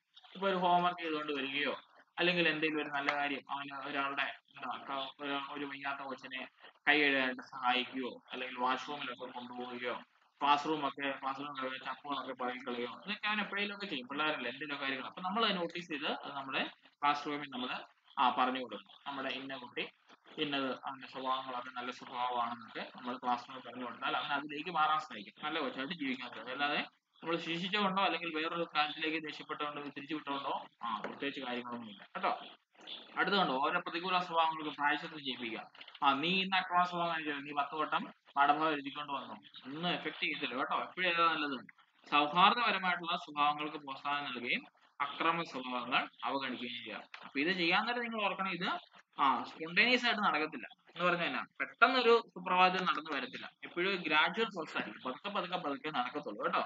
ആ ഒരു അണ്ടർസ്റ്റാൻഡിങ് വേണം. അപ്പൊ ഓപ്ഷൻ സി ആണ് അതിന്റെ ആൻസർ കേട്ടോ അപ്പം പരിസാളി നിങ്ങളൊന്ന് ആലോചിക്കണം. ഇത് വരുമോ അത് വരത്തില്ലയോ? കാരണം എന്തെന്നൊക്കെ ആലോചിച്ച് നമുക്ക് ആൻസറിലേക്ക് പോകുന്നത് ഓക്കെ അടുത്ത ക്വസ്റ്റ്യൻ കഴിഞ്ഞ രണ്ട് വർഷമായിട്ട് സെക്കൻഡറി സ്കൂൾ വിദ്യാർത്ഥിയായിട്ടുള്ള അജയ് അവന്റെ പ്രതീക്ഷിത നിലവാരത്തെക്കാൾ താഴ്ന്ന നിലവാരത്തിലാണ് ഉള്ളത്. ഇതിനെ പറയുന്നത് എന്താണ്? അതായത് രണ്ട് വർഷമായിട്ട് നമ്മുടെ സെക്കൻഡറി സ്കൂൾ വിദ്യാർത്ഥിയായിട്ടുള്ള അജയ്ക്ക് അവന്റെ പ്രതീക്ഷിത പഠന നിലവാരത്തെക്കാളും താഴ്ന്ന നിലയിലാണുള്ളത്. അതിന്റെ അർത്ഥം നമ്മുടെ അജയ് എന്ന് പറഞ്ഞ കുട്ടി പഠിച്ചുകൊണ്ടിരുന്ന കുട്ടി അല്ലെ? രണ്ട് വർഷമായിട്ടേ അവന് കുഴപ്പം പറ്റിയിട്ടുള്ളൂ. അത് താഴെ പറയുന്നത് ഏതാണ്? പഠന വൈകല്യമാണോ? ബുദ്ധി പരിമിതി നേരിടുന്നതാണോ? സാമൂഹിക പരിമിതിയാണോ? അതോ സിദ്ധി പരിമിതിയാണോ? ഏതാണ് ആൻസർ വരേണ്ടത്? ഏ? രണ്ട് കൊല്ലമായിട്ടേ അവന് തുടങ്ങിയിട്ടുള്ളൂ. അപ്പൊ അവിടെ പഠന വൈകല്യം വരുവോ? വരുവോ? ഏ? സാമൂഹിക പരിമിതി. ഓരോരുത്തരുണ്ട് പിന്നെ നിങ്ങൾ ഓപ്ഷൻ നോക്കിയേ. പഠന വൈകല്യം വരുവോ? ഏഹ് രണ്ടു കൊല്ലമായിട്ടേ തുടങ്ങിയിട്ടുള്ളൂ ക്വസ്റ്റ്യൻ പ്രകാരം. അപ്പൊ അത് വരത്തില്ല. ഈ ബുദ്ധി പരിമിതി നോക്കിക്കേ ബുദ്ധി പരിമിതിക്ക് എന്തെങ്കിലും കുഴപ്പമുണ്ടെങ്കിൽ അവൻ പ്രതീക്ഷിത നിലവാരത്തെക്കാൾ താഴ്ന്നില്ല ബുദ്ധി പരിമിതി ഉണ്ടെങ്കിൽ അവൻ കൊച്ചുനാൾ തൊട്ട് അത് കാണിച്ചു വരണം ശരിയല്ലേ? ശരിയല്ലേ? കൊച്ചു നാളുകൾ തൊട്ട് അല്ലെങ്കിൽ സെക്കൻഡറി ഇത് സെക്കൻഡറി ലെവലിലെ സ്കൂൾ വിദ്യാർത്ഥികളുടെ കാര്യം പറയുന്നത്. അപ്പം അവൻ കൊച്ചു ക്ലാസ്സിൽ കുഴപ്പമൊന്നും ഇല്ലായിരുന്നു. അവന് പ്രതീക്ഷിത നിലവാരത്തിലുള്ളതിനേക്കാളും താഴ്ന്ന നിലയിൽ സെക്കൻഡറി ലെവൽ എത്തിയപ്പോഴാണ് പോയത്. അപ്പം ആ ബുദ്ധി പരിമിതി ആയിരിക്കില്ല. കാരണം ബുദ്ധി പരിമിതി ആയിരുന്നെങ്കിൽ അവൻ പ്രൈമറി ലെവൽ തൊട്ട് എന്താണ് എന്താണ് പുറകിലായിപ്പോയി പിന്നുള്ളത് സാമൂഹിക പരിമിതി സിദ്ധി പരിമിതി. സിദ്ധി പരിമിതി എന്ന് പറഞ്ഞാൽ എന്താ? സിദ്ധി പരിമിതി. ഏ? സിദ്ധി പരിമിതി എന്ന് പറഞ്ഞാൽ എന്താ? ഏ? എന്തേ? എന്താ സിദ്ധി പരിമിതി? സിദ്ധി എന്ന് പറഞ്ഞാൽ ഏ? സിദ്ധി എന്ന് പറഞ്ഞാൽ ആ കഴിവ്. കേട്ടോ? അല്ലെങ്കിൽ നമ്മൾ പറയത്തില്ലേ? നമുക്ക് എന്തെങ്കിലും ഇതിനോടുള്ള കഴിവുണ്ട് അതിനോടുള്ള കഴിവുണ്ട്. അതുകൊണ്ടായിരിക്കുമോ അവന് ഈ പ്രശ്നം വന്നത്? സിദ്ധി പരിമിതി കാരണമായിരിക്കും ആയിരിക്കും. ആണോ? അല്ല. കേട്ടോ? പിന്നെ ഉള്ളതാണ് സാമൂഹിക പരിമിതി. എന്താ സാമൂഹിക പരിമിതി വെച്ചാൽ നമ്മൾ പറഞ്ഞിട്ടുണ്ടല്ലേ? കുട്ടികൾ നല്ല രീതിക്ക് പഠിച്ചു പോകുന്ന ഒരു കുട്ടികളുടെ ജീവിതത്തിൽ എന്തെങ്കിലും സാമൂഹികമായിട്ടുള്ള ഇടപെടലുകൾ മൂലം ഇപ്പൊ കുടുംബമാകാം സമൂഹമാകാം കൂട്ടുകാരാകാം. സെക്രട്ടറിയിലോട്ട് കയറുമ്പോൾ മേ ബി അവന്റെ പഴയ കൂട്ടുകാരൊക്കെ പോയ വിഷമം കാണാം. അല്ലെങ്കിൽ പേരൻസിൽ നിന്ന് അമിതമായിട്ടുള്ള പ്രഷർ കാണാം. ഓ നീ ഇനി പത്തിലാണ്. ഒരുപാട് നീ പഠിക്കണം. ഇതാണ് നിന്റെ എന്താണ് ജീവിതത്തിന്റെ വഴിത്താഴ തെളിക്കുന്നത് വിട്ടുവിടുന്നത് എന്നൊക്കെ പറഞ്ഞ് പലരും ഇങ്ങനെ ഇത് ചെയ്യുന്നതായിരിക്കും. ഇതൊക്കെ അവരിൽ എന്ത് ചെയ്യുമായിരിക്കും? കൂടുതലായിട്ടും ആ അതൊരു ഒരു എന്താ ഡിഫിക്കൽറ്റി അല്ലെങ്കിൽ ഒരു പ്രയാസം ഫീൽ ചെയ്യുമായിരിക്കും. അപ്പൊ അങ്ങനെ സാമൂഹികമായിട്ടൊരു പരിമിതി അവൻ നേടുന്നതുകൊണ്ടാകാം എന്ത് ചെയ്യുന്നത്? അവൻ പ്രതീക്ഷിച്ച പഠന നിലവാരത്തെക്കാളും താഴ്ന്ന നിലയിലുള്ളത്. നേരത്തെ അല്ലെങ്കിൽ നേരിട്ട് ഈ സാമൂഹിക പരിമിതി അല്ലെങ്കിൽ ഇതിനെ മറികടക്കാൻ ശ്രമിക്കുക കുടുംബത്തിൽ നിന്നും അതുപോലെ തന്നെ സമൂഹത്തിൽ നിന്നും അയൽവക്കത്തിൽ നിന്നും സമസംഘങ്ങളിൽ നിന്നൊക്കെ ഇതുപോലുള്ള കാര്യങ്ങൾ ഒരു മോട്ടിവേഷൻ കിട്ടിയാൽ എടാ നിന്നെ കൊണ്ട് പറ്റും. നീ പണ്ടൊക്കെ പഠിച്ചുകൊണ്ടിരുന്നതല്ലേ എനിക്ക് ഇപ്പൊ എന്നാടാ പറ്റിയത്? എന്നൊക്കെ നമ്മളൊന്ന് മോട്ടിവേറ്റ് ചെയ്താൽ മേ ബി ഇത് ശരിയാവാൻ സാധ്യതയുണ്ട്. അപ്പൊ ഇതിന്റെ ആൻസർ വരേണ്ടത് സാമൂഹിക പരിമിതിയാണ് കേട്ടോ. ആൻസർ വരേണ്ടത്. അത്ര മനസ്സിലായോ? കിട്ടിയോ? ഐഡിയ കിട്ടിയോ? ഓക്കെ അടുത്ത ക്വസ്റ്റ്യൻ നോക്കിയേ. താഴെ പറയുന്നവയിൽ പഠന പ്രക്രിയയുമായി ബന്ധപ്പെട്ട മെത്തേഡ് വേരിയബിൾ ഏതാണ്? കണ്ടോ? താഴെ പറയുന്നവയിൽ പഠന പ്രക്രിയയുമായി ബന്ധപ്പെട്ട മെത്തേഡ് വേരിയബിൾ എന്താണെന്ന്. ഒന്നാമത് പഠന രീതിയാണോ? രണ്ടാമത് പഠിതാവിന്റെ ഭൗതിക നിലയാണോ? മൂന്നാമത് ശ്രദ്ധയാണോ? നാലാമത് ഇത് അഭിപ്രേരണയാണോ ഏ എന്താ മെത്തേഡ് വേരിയബിൾ എന്നറിയാവോ? മെത്തേഡ് വേരിയബിൾ ഏ? എന്തേ? മെത്തേഡ് വേരിയബിൾ ആ ഒരു ഒരു മെത്തേഡ് ഇപ്പൊ ഞാനിപ്പോ പഠിക്കുന്ന മെത്തേഡ് വെച്ചാൽ ഉറക്ക വായിച്ചു പഠിക്കുക എഴുതി പഠിക്കുക കാണാതെ പഠിക്കുക അങ്ങനെ കുറെ മെത്തേഡ് ഞാൻ ഫോളോ അപ്പ് ചെയ്യുന്നുണ്ട്. ഇതുപോലെ ആയിരിക്കത്തില്ല മറ്റൊരാൾ മറ്റൊരാൾ ചിലപ്പോൾ എന്താ പറയുന്നത് ആ എന്താ സൈലന്റ് ആയിട്ട് വായിക്കുന്നതായിരിക്കും. അദ്ദേഹത്തിന് മനസ്സിലാകുന്നത് അല്ലെങ്കിൽ വേറെ ആരെങ്കിലും പറഞ്ഞു കൊടുക്കുന്നതായിരിക്കും കൂടുതൽ മനസ്സിലാകുന്നത് അല്ലെങ്കിൽ നിങ്ങൾക്ക് ക്ലാസ് എടുക്കുന്നതായിരിക്കും കൂടുതൽ മനസ്സിലാകുന്നത് അല്ലെങ്കിൽ ലെക്ചർ ക്ലാസ് കേൾക്കുന്നതായിരിക്കും. അല്ലെങ്കിൽ വീഡിയോസ് കാണുന്നതായിരിക്കും. ഇങ്ങനെ പല മെത്തേഡ് ഉണ്ട്. ഇതിനാണ് മെത്തേഡ് വേരിയബിൾ എന്ന് പറയുന്നത്. അപ്പം പഠന പ്രക്രിയയുമായിട്ട് ബന്ധപ്പെട്ട മെത്തേഡ് വേരിയബിൾ ഏതാണെന്ന്? അപ്പം പഠന രീതികളാണോ പഠിതാവിന്റെ ഭൗതിക നിലയാണോ ശ്രദ്ധയാണോ അഭിപ്രേരണയാണോ ആൻസർ വരേണ്ടത് ഏതാ? അഭിപ്രേരണയാണോ അഭിപ്രേരണ വെച്ചാൽ നമ്മൾ ഉദ്ദേശിക്കുന്ന മോട്ടിവേഷനാണ് മോട്ടിവേഷൻ എപ്പോഴും മെത്തേഡ് വേരിയബിൾ ആയിരിക്കും. ഏ? മോട്ടിവേഷൻ മെത്തേഡ് വേരിയബിൾ ആണോ? ആണോ? നിങ്ങൾ വേരിയബിൾസ് എന്ന് പറഞ്ഞാൽ നമ്മൾ എപ്പോഴും ആലോചിക്കേണ്ടത്? ഒരു രീതിയിൽ നിന്ന് മറ്റൊരു രീതിയിലേക്ക് മാറുക. അപ്പൊ നിങ്ങൾ നോക്കി ഈ താഴെ പറയുന്നതിൽ നമുക്ക് പഠന രീതികളാണെങ്കിൽ നമുക്ക് ഒരു മെത്തേഡ് ആ പഠന രീതിയാണെങ്കിൽ നമുക്ക് ഒരു രീതിയിൽ നിന്ന് മറ്റൊരു രീതിയിലേക്ക് മാറാൻ പറ്റും. അല്ലേ? ഇപ്പൊ നമ്മൾ ആയിരിക്കുന്ന സാഹചര്യം ഇപ്പം വീട്ടിൽ ഇരുന്ന് തന്നെ പഠിച്ച ഒരാൾ ഹോസ്റ്റലിൽ പോകാനുള്ള അവസ്ഥ തന്നെ ആയിരിക്കും. അവരിരുന്ന് പഠിച്ച പോലെ സൈലന്റ് പഠിക്കാൻ പറ്റുമോ പറ്റുമോ ഇപ്പോഴും സൈലന്റ് പഠിക്കാൻ പറ്റുമോ പറ്റുമോ ഹോസ്റ്റലിൽ നിന്നിട്ടുണ്ടോ? ഇല്ല. കാരണം ഹോസ്റ്റലിൽ നിന്ന് പഠിച്ച എപ്പോഴും ഇച്ചിരി സൈലന്റും സൈലന്റ് ആകാനുള്ള സാധ്യതകൾ വളരെ കുറവായിരിക്കും അല്ലേ? അതുകൊണ്ടാണ് ഈ സ്റ്റഡി ടൈം ഒക്കെ ഈ ഇവിടെ വെക്കുന്നത് ഹോസ്റ്റലിലൊക്കെ വെക്കുന്നത് കാരണം അവർക്കറിയാം എപ്പോഴും ഒരപ്പായിരിക്കും ആ പിള്ളേർ എപ്പോഴും നമ്മളോട് വർത്താനം കളഞ്ചിയില്ലായിരിക്കും പിള്ളേരുടെ പ്രായം അതായിരിക്കും അപ്പൊ അങ്ങനെ വരുമ്പോ അവിടെ എപ്പോഴും ഒരു സ്റ്റഡി ടൈം ഒക്കെ വെക്കും രണ്ട് മൂന്ന് മണിക്കൂർ വെക്കും. കാരണം ഈ സൈലന്റ് ആയിട്ട് വീട്ടിൽ നിന്ന് പഠിച്ച് വന്ന പിള്ളേർക്ക് പഠിക്കാനുള്ള ഒരു അവസരം അത് നൽകുന്നത്. ചില കുട്ടികളുണ്ട് എന്നാ ശബ്ദം വെച്ചാലും നമുക്ക് ഇരുന്ന് മാറി ഇരുന്ന് പഠിക്കുന്ന കാണാൻ പറ്റും. അപ്പൊ അങ്ങനെ കഴിവുള്ളവരുണ്ട്. അപ്പം ഈ പഠന രീതിയെ നമുക്ക് മെതേഡ് വേരിയബിൾ ആയിട്ട് വേണം കണക്കാക്കാം ഇനി പഠിതാവിന്റെ ഭൗതിക നില അതിനെ നമുക്ക് മാറ്റാൻ പറ്റുമോ പെട്ടെന്ന് മാറ്റിയെടുക്കാൻ പറ്റുമോ വേരിയബിൾ ആയിട്ട് എടുക്കാൻ പറ്റുമോ അതായത് ഇപ്പൊ ഒരു ലെവലിൽ നിൽക്കുന്ന മാത്സ് ഒരിക്കലും പഠിക്കാത്ത ഒരു വ്യക്തിയെ നമുക്ക് ഒരു പെട്ടെന്നൊരു സുപ്രഭാതത്തിൽ നമുക്ക് എല്ലാ കാര്യങ്ങളും പഠിപ്പിച്ചുകൊണ്ട് ആ നല്ല രീതിയിൽ ഇന്റലിജന്റ് ആയിട്ട് ഗണിതത്തിൽ നമ്മൾ കൊണ്ടുവരാനായിട്ട് പറ്റുമോ നമ്മളെ കൊണ്ട് പറ്റുന്ന കാര്യമാണോ? ആണോ? അല്ല. പിന്നെ ശ്രദ്ധ. ഇപ്പൊ നമ്മൾ പറയും ശ്രദ്ധിക്കാൻ നമ്മൾ പറയുന്ന ആക്റ്റീവ് ഉണ്ട് പാസീവ് ഉണ്ട് അല്ലെ? ഒന്നെങ്കിൽ നമ്മൾ ആ നേരിട്ട് തന്നെ ഒരു കാര്യം പറയുന്നത് എന്താ അച്ചട്ടായിട്ട് അതേപടി കേൾക്കുന്നവരുമുണ്ട് അല്ലെങ്കിൽ ഒരു ചെവി കൂടി കേട്ട് മറ്റേ ചെവി കൂടി ഇറക്കി തരുന്നവരുണ്ട് അപ്പൊ ആക്റ്റീവും പാസീവും ഉണ്ട്. അപ്പൊ അതിനെ നമുക്ക് മെത്തേഡ് വേരിയബിൾ ആയിട്ട് നമുക്ക് കണക്കൂട്ടാൻ പറ്റത്തില്ല. അല്ലേ കാരണം രണ്ടെണ്ണേ ഉള്ളൂ. അതിന് കൂടുതൽ മെത്തേഡ്സ് കാര്യങ്ങളൊന്നും ഇല്ല. ഇതിനുള്ള അഭിപ്രായം മോട്ടിവേഷൻ നമുക്ക് അതുപോലെ ചെയ്യാൻ പറ്റത്തില്ല. പിന്നെ ഏതിനെ പറ്റത്തുള്ളൂ കൂടുതലായിട്ടും? നമ്മുടെ പഠന രീതിക്കകത്ത്. കേട്ടോ? പഠന രീതിക്കകത്താണ് പഠന പ്രക്രിയയുമായിട്ട് ബന്ധപ്പെട്ട മെത്തേഡ് വേരിയബിൾ കേട്ടോ? വേരിയബിൾ എന്ന് പറഞ്ഞാൽ എപ്പോഴും ഓർക്കണം ഒരുപാട് മെത്തേഡ് ഉള്ള ഇതിനാണ് കേട്ടോ? അപ്പൊ നമ്മൾ സയൻസിനാണല്ലോ നമ്മൾ ഉണ്ടല്ലേ വേരിയബിൾസിനെ ചേഞ്ച് ചെയ്യുക. അല്ലെങ്കിൽ നമ്മൾ കാര്യങ്ങൾ മാറ്റുക. നമ്മൾ സസ്യ വളർച്ചയ്ക്ക് നമ്മൾ കൂടുതലായിട്ട് യൂസ് ചെയ്യുന്ന എന്തൊക്കെ കാര്യങ്ങളായിരിക്കും? ഒരുപാട് കാര്യങ്ങളുണ്ട് അല്ലെ? സസ്യത്തെ സ്വാധീനിക്കുന്നതായിട്ട് എന്തൊക്കെയുണ്ട്? സൂര്യപ്രകാശമുണ്ട് മണ്ണുണ്ട് ജലമുണ്ട് മിനറൽസ് ഉണ്ട്. അതുപോലെ തന്നെ നമ്മുടെ നമ്മുടെ റൂമിന്റെ അകത്തുള്ള ടെമ്പറേച്ചർ ഉണ്ട്. ഇങ്ങനെയുള്ള ഒരുപാട് കാര്യങ്ങൾ ഇതിനെ പറ്റിക്കൊണ്ടിരിക്കും അപ്പം വേരിയബിൾസ് പറഞ്ഞാൽ എപ്പോഴും ഓർക്കേണ്ടത് ഒന്നിലധികം കാര്യങ്ങൾ. അല്ലെങ്കിൽ നമുക്ക് ഒരുപാട് കാര്യങ്ങൾ പറയാൻ പറ്റുമെങ്കിൽ അതിന് പറയുന്ന പേരാണ് വേരിയബിൾസ് അപ്പം പഠന പ്രക്രിയയുമായിട്ട് ബന്ധപ്പെട്ട മെത്തേഡ് വേരിയബിൾ എന്ന് പറഞ്ഞാൽ പഠന രീതിയാണ് കേട്ടോ ഒന്നിലധികം പഠന രീതികൾ നമുക്ക് ഉൾക്കൊള്ളിക്കാൻ പറ്റും. അതാണ് ഇവിടെ ഉദ്ദേശിക്കുന്നത്.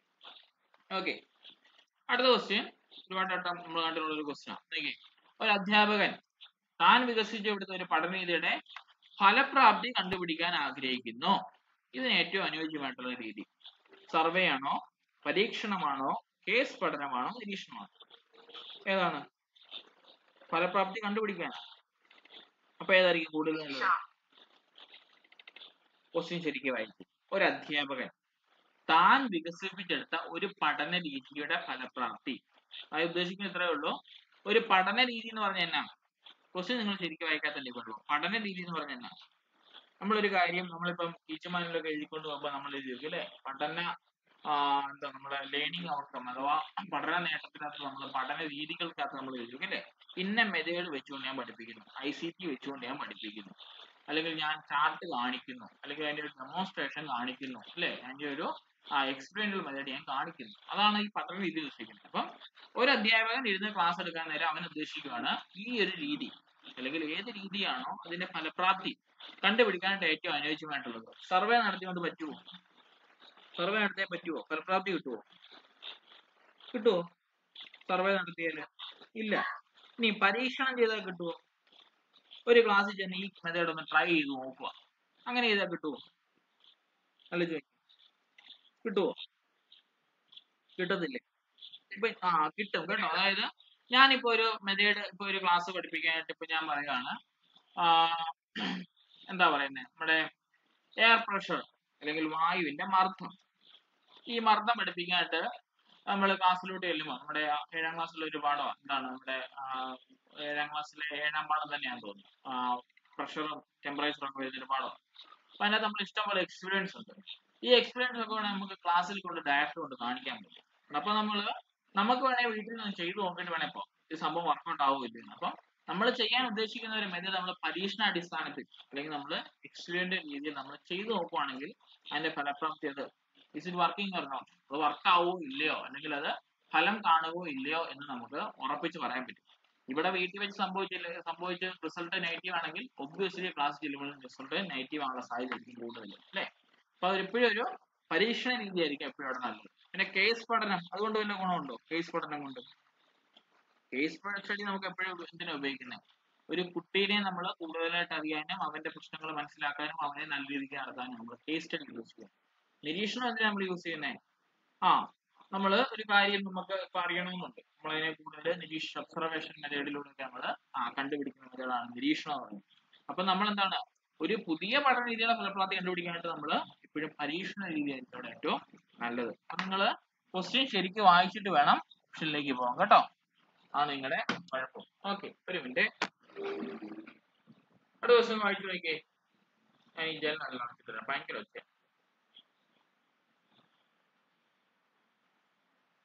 ഓക്കെ ക്വസ്റ്റ്യൻ കാണാവോ? ക്വസ്റ്റ്യൻ കാണാവോ? പതിമൂന്നാമത്തെ ക്വസ്റ്റ്യൻ ഓക്കെ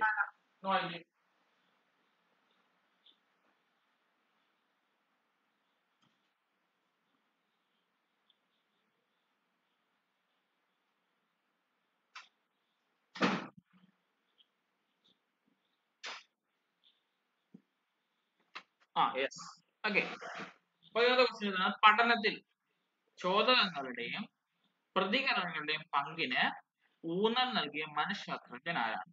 എന്താണ് ചോദക പ്രതികരണം? അത് കട്ട് ആണോ? ജെറോമസ് ബ്രൂണർ ആണോ? ജെ ബി വാട്സൺ ആണോ? ജെയിൻ പിയാഷെ ആണോ? ആരാണ് ചോദക പ്രതികരണം മുന്നോട്ട് വെച്ചത്? ഏ? ആരാ? ആരാ ചോദക പ്രതികരണം മുന്നോട്ട് വെച്ചത്? എന്തേ? ആരാ വെച്ചത്? ആ ജെ ബി വാട്സൺ കേട്ടോ. ജെ ബി വാട്സൺ ആണ് ചോദക പ്രതികരണ ബന്ധം. എന്ന് വെച്ചാൽ എന്താ? എന്ത് ബന്ധം? ചോദക പ്രതികരണ ബന്ധം എന്ന് പറഞ്ഞാൽ എസ് ആർ ആണോ ആർ എസ് ആണോ? ഏ? എന്തേ? എന്ത് ബന്ധം? ആ എസ് ആർ കേട്ടോ. ചോദക പ്രതികരണ ബന്ധം മുൻപോട്ട് വെച്ചാണ് ജെറോ സോറി ജെ ബി വാട്സൺ അതുപോലെ തന്നെ വേറെ ആരൊക്കെ ഉണ്ടായിരുന്നു? എസ് ആർ ബന്ധത്തിൽ മുന്നോട്ട് വെച്ചത്. ആ തോണ്ടേക്ക് പാവലോ. അതിനകത്ത് ഒരാളുടെ പേര് സ്കിന്നർ വരും. സ്കിന്നർ പക്ഷെ എന്താ കണ്ടുപിടിച്ചത്? നേരെ വിപരീതം കണ്ടുപിടിച്ചത്. എന്തായിരുന്നു? എന്തായിരുന്നു കണ്ടുപിടിച്ചത്? ആർ എസ് കേട്ടോ. ആ പ്രതികരണ ചോദക ബന്ധമാണ് അദ്ദേഹം കണ്ടെത്തിയത്. അപ്പൊ അത് മറന്നു പോലും കേട്ടോ. അപ്പം രവി വാട്സൺ ആണ് ആ എസ് ആർ ബന്ധം കണ്ടുപിടിച്ചത്. രവി വാട്സനെ എന്ത് പരീക്ഷണത്തിലൂടെയാ കണ്ടുപിടിച്ചെന്ന് അറിയാമോ ഏ? എന്ത് പരീക്ഷണത്തിലൂടെ ഇത് കണ്ടുപിടിച്ചെന്ന് അറിയാമോ ഏ? അറിയാമോ നമ്മുടെ ടെക്സ്റ്റ് ഷോക്ക് ആ ഷോക്ക് കൊടുക്കുന്നുണ്ട്. ആടിന് ആടിന്റെ കാലിൽ ഷോക്ക് കൊടുക്കുന്ന ഒരു എക്സ്പെരിമെന്റ് ഉണ്ട്. ശരിയാ പറഞ്ഞത്. ആ അതുണ്ട്. പിന്നെ അതുപോലെ തന്നെ തന്റെ കുഞ്ഞൊരു വെള്ളയിലെ തൊടാൻ പോകുമ്പോ ഒച്ച വെച്ച് പേടിപ്പിക്കും. ആ ഒച്ച വെച്ച് പേടിപ്പിക്കുമ്പോ പിന്നെ ഇലയെ കാണുമ്പോൾ കൊച്ച് പേടിക്കും. അതും കേട്ടോ ഉണ്ട് കേട്ടോ. നമുക്ക് എടുത്തു പിടിക്കാനായിട്ടില്ല. ഓർക്കേണ്ട കാര്യം കേട്ടോ. ആടിന്റെ കാലിൽ ഷോക്ക് അടിക്കുന്നുണ്ട്. അതുപോലെ തന്നെ എലീനെ വെള്ള എലിയെ തൊടാൻ ശ്രമിക്കുമ്പോ ദേവി വാട്സൺ പറയുന്നത് ബ എന്ന് വെക്കുമ്പോ കൊച്ചു പേടിക്കും. ഒബ്വിയസ്ലി കൊച്ചല്ലേ പേടിച്ചു അല്ലേ? അങ്ങനെ വരുമ്പോ ആ ഭീതികരമായ ശബ്ദം കേൾപ്പിക്കുമ്പോൾ കൊച്ചു പേടിക്കുന്നതുകൊണ്ട് നമ്മുടെ എസ് ആർ ബന്ധത്തിലേക്ക് കൊണ്ടുവന്നു കേട്ടോ. ഇനി ലെവിൻ ആരാന്ന് അറിയാലോ കത്ത് ലെവിൻ ആരാ? കത്ത് ലെവിൻ. എന്തിന്റെ ഇതിനകത്ത് വരുന്ന പേരാ? കത്ത് ലെവിൻ. ഈ പേരോട് കേട്ടിട്ടുണ്ടോ? കത്ത് ലെവിൻ എന്ന്? ഏ? ഉണ്ടോ? കത്ത് ലെവിൻ എന്ന്? കേട്ടില്ലേ ഏ കത്ത് ലെവിനെ പറ്റി കത്ത് ആ ആരാ? ഏ? എന്ത് സിദ്ധാന്തോ? ഏ? കേട്ടില്ല. എന്ത് സിദ്ധാന്തോ? സിദ്ധാന്തം കേട്ടത് ഏത് സിദ്ധാന്തം ഞാൻ കേട്ടില്ല. പറഞ്ഞു. ഏ പറയുന്നേ ശരിയാ പറഞ്ഞു. ഏ സിദ്ധാന്തോ കത്ത് ലെവിന്റെ ആ ക്ഷേത്ര സിദ്ധാന്തം കേട്ടോ എത്ര പറയാൻ തന്നെ പാടന്ന. കേട്ടോ അടുത്തത്. ജെറോമസ് ബ്രൂണർ ആരാന്ന് അറിയാലോ ഇത് കണ്ടുപിടിച്ചതാ ജെറോമസ് ബ്രൂണർ. ഏ? Jerome Bruner. Bruner Bruner. ബ്രൂണറിനാണ് കണ്ടുപിടിച്ചത്? എന്തേ? ബ്രൂണറാണ് കണ്ടുപിടിച്ചത്? ജെറോ ബ്രൂണർ എഴുതില്ലേ ആശയദാന മാതൃക. കേട്ടോ നമ്മുടെ പ്രവർത്തനം കേട്ടോ ഓർക്കുന്നുണ്ടോ? ഏനിയാക്കി അയോണിക് സിംബോളിക് സ്റ്റേജുകൾ അദ്ദേഹമൊക്കെ അതിന്റെ കുഞ്ഞതാ കേട്ടോ. പിന്നെ അതുപോലെ ചാക്രികാരണ രീതിയുണ്ട് കണ്ടെത്തൽ പഠനമുണ്ട് ആശയദാന മാതൃകയുണ്ട് പിന്നെന്തുണ്ട് ഇനിയുണ്ടല്ലോ നമ്മുടെ ഏതായിരുന്നു? നമ്മുടെ ഈ കോൺസെപ്റ്റുകളൊക്കെ മുൻപോട്ട് വെക്കുന്ന എല്ലാം കണ്ടുപിടിച്ചത് നമ്മുടെ എന്താണ്? ജെറോമസ് ബ്രൂണാണ്. ജെ ബി വാട്സൺ നമ്മളിപ്പോ പറഞ്ഞ കാര്യം എസ് ആർ ബന്ധം കണ്ടുപിടിച്ചത് പിയാഷയുടെ കാര്യം എപ്പോഴും പറയുന്ന എന്താണ്? ഇൻഡിവിജ്വൽ ആയിട്ടുള്ള കാര്യങ്ങൾ. ആദ്യം പറയും അല്ലെ? സ്കീമ അക്കോമഡേഷൻ സിമുലേഷൻ സംസ്ഥാപന സാംശീകരണം അതുപോലെ തന്നെ എന്താണ് ഇക്വിലിബ്രിയം പിന്നെ ആ നാല് ഘട്ടങ്ങൾ ഏതൊക്കെയാണ്? നമ്മുടെ പ്ര- ഇന്ദ്രിയ ചാലഘട്ടം ഘട്ടം ഔപചാരികഘട്ടം മൂർത്തനാവഘട്ടം ഇതെല്ലാം അറിയാം നമ്മുടെ ഗ്യാഷയുടെ കേട്ടോ. അപ്പം അതെല്ലാം ഓർത്തിട്ട് അപ്പൊ ഇതിന്റെ ആൻസർ വേണ്ടത് ജെ ബി വാട്സ് ആണ് കേട്ടോ. ഓക്കെ അടുത്ത ക്വസ്റ്റ്യൻ ഡിസ്കവറി പഠനം സാധ്യമാകുന്ന അധ്യാപകൻ. ഡിസ്കവറി എന്ന് വെച്ചാൽ നമുക്കറിയാലോ എന്താണ്? ഡിസ്കവറി ആയിട്ട് നമ്മൾ കൂടുതൽ കാര്യങ്ങൾ കൂടുതലായിട്ട് പഠിപ്പിക്കുക. ഡിസ്കവറി ലേണിംഗ് പഠിപ്പിക്കുന്നത് അപ്പൊ ഡിസ്കവറി പഠനം സാധ്യമാക്കുന്ന അധ്യാപകൻ എന്തായിരിക്കും ചെയ്യുന്നത്? ശ്രദ്ധ പ്രോത്സാഹിപ്പിക്കുമ്പോഴാണോ? അതോ ഡെമോൺസ്ട്രേഷൻ പഠിപ്പിക്കുമ്പോഴാണോ? അതോ ഇൻഡ്യൂറ്റീവ് ചിന്ത പ്രോത്സാഹിപ്പിക്കുമ്പോഴാണോ? അതോ ഇടപെടലുകൾ പ്രോത്സാഹിപ്പിക്കുമ്പോഴാണോ? ഏതായിരിക്കും? ഡിസ്കവറി ലേണിംഗ് സാധ്യമാകുന്നത്? ഈ ഒരു ക്വസ്റ്റ്യൻ നമ്മൾ നേരത്തെ കണ്ടതാണ്. അതിന്റെ ആൻസർ നമ്മൾ അവിടെ കണ്ടതാ ഓർക്കുന്നുണ്ടോ? ചെയ്തതാ നമ്മൾ. സെയിം ക്വസ്റ്റ്യൻ നമ്മൾ ചെയ്തതാ ഡിസ്കവറി ലേണിംഗ് സാധ്യമാകുന്നത് എപ്പോഴാണ്? ശ്രദ്ധ പ്രോത്സാഹിപ്പിക്കുമ്പോഴാണോ? അതോ ഡെമോൺസ്ട്രേഷൻ പഠിപ്പിക്കുമ്പോഴാണോ? അതോ ഇൻഡ്യൂറ്റീവ് ചിന്ത പ്രോത്സാഹിപ്പിക്കുമ്പോഴാണോ? അതോ ഇടപെടലുകൾ പ്രോത്സാഹിപ്പിക്കുമ്പോഴാണോ? ഏതായിരിക്കും? സംശയം നമുക്ക് ഓരോ ഓപ്ഷൻ വെച്ച് പോവാം. നോക്കി ശ്രദ്ധ പ്രോത്സാഹിപ്പിച്ചാൽ നമ്മുടെ ഡിസ്കവറി പഠനം സാധ്യമാകുമോ? അല്ലെങ്കിൽ ശ്രദ്ധിച്ചിരിക്കടാ ശ്രദ്ധിച്ചിരിക്കടാ ശ്രദ്ധിച്ചിരിക്കടാ എന്ന് എപ്പോഴും പറഞ്ഞാൽ ഡിസ്കവറി പഠനം സാധ്യമാകുമോ? ആവോ? ഇല്ല. അതിനെ ഒഴിവാക്കുക. ഇനി ഡെമോൺസ്ട്രേഷൻ പരിശീലിപ്പിക്കുമ്പോൾ എന്ന് പറഞ്ഞാൽ ഓരോ കാര്യങ്ങൾ ഉണ്ടാക്കാനും അതുപോലെ തന്നെ ഓരോ കാര്യങ്ങളും മേടിപ്പ് ചെയ്തുകൊണ്ട് വരാനും എന്നൊക്കെ നമ്മൾ പറയുകയാണെങ്കിൽ അവിടെ ഡിസ്കവറി പഠനം സാധ്യമാവുമോ ആവോ?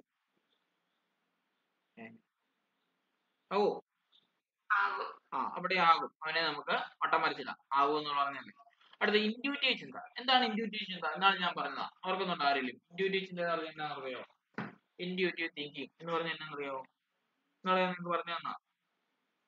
ഓർക്കുന്നുണ്ടോ ആരെങ്കിലും. ഏ?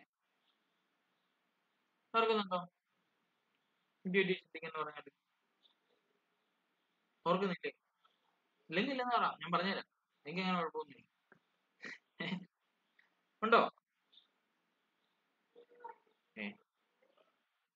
ഇല്ല. ആ എന്നാ ഞാൻ ഓർത്തു. അതായത് ഇപ്പൊ ഞാനിപ്പോ ഒരു കടയിൽ പോയി. കടയിൽ പോയപ്പോ ഞാനൊരു പ്ലേറ്റോ അല്ലെങ്കിൽ ഒരു കപ്പോ അല്ലെങ്കിൽ എന്തെങ്കിലും ഒരു കാര്യങ്ങളോ ഞാൻ കണ്ടു. അപ്പൊ ആ കപ്പ് കണ്ടപ്പോൾ ഞാൻ പറയുകയാണ് ഈ കപ്പിനെ പോലെ ഒരു കപ്പ് ഞാൻ എവിടെയോ കണ്ടിട്ടുണ്ടല്ലോ. അങ്ങനെ പറയുകയാണെങ്കിൽ നമ്മൾ എന്താണ് നമ്മൾ ചിന്തിച്ചു അവിടെ ഇരുന്ന് അല്ലേ അതായത് ഒരാളുടെ ഭൗതിക നിലയിൽ വെച്ചുകൊണ്ട് തന്നെ അദ്ദേഹം കൂടുതലായിട്ട് ഡിസ്കവർ ചെയ്യുക അല്ലെങ്കിൽ അദ്ദേഹം കൂടുതലായിട്ട് ഓരോ കാര്യങ്ങൾ ഫോം അപ്പ് ചെയ്യുന്ന രീതിക്കാണ് നമ്മൾ ഇൻഡ്യൂറ്റീവ് ചിന്ത എന്ന് പറയുന്നത്. ഈ ക്വസ്റ്റ് ഈ സെയിം ഞാൻ പറഞ്ഞു തന്ന അതായത് ഇത്രേ ഉള്ളൂ. ഇപ്പൊ ഞാൻ ഒരു കാര്യം കണ്ടത് അല്ലെങ്കിൽ ഇപ്പൊ ഞാൻ നിങ്ങളോട് പറയാറില്ല ഒരു ക്വസ്റ്റ്യൻ നമ്മൾ കണ്ടാൽ നമ്മൾ ഇപ്പുറത്തെ ക്വസ്റ്റ്യൻ വരുമ്പോൾ ഓർക്കണം. ആ ക്വസ്റ്റ്യൻ നമ്മൾ ഇങ്ങനെയല്ലേ വന്നത്? ഓർക്കുന്നില്ലേ? അപ്പൊ അങ്ങനെ വരുമ്പോ നമുക്ക് മനസ്സിലാവും. ഓ അവിടെ ഇങ്ങനെയായിരുന്നു. അപ്പൊ അങ്ങനെയും ചോദ്യങ്ങൾ ചോദിക്കാം. അതിനെ വെച്ചുകൊണ്ടല്ലേ ഇവിടെ ഒരു ചോദ്യങ്ങൾ ചോദിച്ചത് അപ്പൊ അങ്ങനെ നമ്മൾ എന്താ ഇവിടെ ചെയ്തത്? നമ്മളൊരു ഡിസ്കവറി ലേണിംഗ് നടത്തുക അല്ലെ? ഇങ്ങനെ വന്നാൽ ഈ രീതിക്കും ക്വസ്റ്റ്യൻ വരാം. ഇവിടെ ഇങ്ങനെ വന്നുകൊണ്ട് ഇനി മറിച്ചാണെങ്കിലും ക്വസ്റ്റ്യൻസ് വരാം. ഓപ്ഷൻ ആണെങ്കിലും ചോദ്യങ്ങൾ വരാം. ഇങ്ങനെ നമ്മൾ തന്നെ ഡിസ്കവർ ചെയ്തെടുക്കും ഓരോ കാര്യങ്ങളും അപ്പൊ അങ്ങനെ നമ്മൾ ചിന്തിച്ചെടുക്കാൻ പറയുന്നവരാണ് ഇൻഡ്യൂറ്റീവ് ചിന്ത എന്ന് പറയുന്നത് ഇപ്പൊ ചില ബോർഡുകളോ അല്ലെങ്കിൽ ചില ഡിസൈൻസോ ചില ഡ്രസ്സിന്റെ ഒക്കെ പാറ്റേണോ ഇതൊക്കെ നമ്മൾ പെട്ടെന്ന് കാണാൻ നമ്മൾ പറയത്തില്ല. ഓ ഇത് ഞാൻ എവിടെ കണ്ടിട്ടുണ്ടല്ലോ?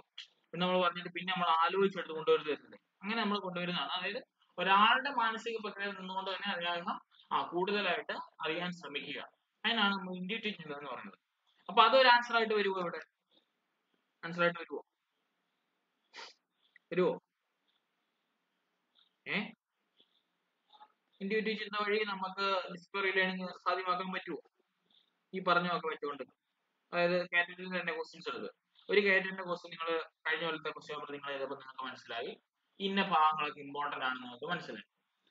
നിങ്ങൾ വേറെ ക്വസ്റ്റ്യൻ പേപ്പർ എടുത്തപ്പോൾ നിങ്ങൾ സെയിം കാര്യം നിങ്ങൾക്ക് വീണ്ടും നിങ്ങൾ മനസ്സിലാക്കും അപ്പൊ നിങ്ങൾ ആ ഭാഗം കുത്തിയിരുന്ന് പഠിക്കുക. ഒബ്വിയസ്ലി നിങ്ങൾക്ക് മനസ്സിലായി പിയാഷയുടെ കാര്യം ഇമ്പോർട്ടന്റ് ആണ്. ബ്രൂണറുടെ കാര്യം ഇമ്പോർട്ടന്റ് ആണ്. നമ്മുടെ എന്താണ്? നമ്മുടെ എം ഐ മൾട്ടിപ്പിൾ ഏജൻസ് എപ്പോഴും ചോദിക്കുന്നതാണ്. ഇല്ല ഇങ്ങനെ കുറെ കാര്യങ്ങൾ നമ്മൾ പറഞ്ഞു വെച്ചിട്ടുണ്ട്. ഇതൊക്കെ നമ്മൾ അങ്ങനെ നമ്മൾ തന്നെ ഡിസ്കവർ ചെയ്ത കാര്യങ്ങളാണ് അല്ലെ? അപ്പൊ ഇൻഡ്യൂറ്റീവ് ചിന്ത വഴി നമുക്ക് ഡിസ്കവറി പഠനം സാധ്യമാകും. കേട്ടോ? നമ്മൾ തന്നെ തന്നെ നമ്മൾ ഡെവലപ്പ് ചെയ്തെടുക്കുന്നതാണ്.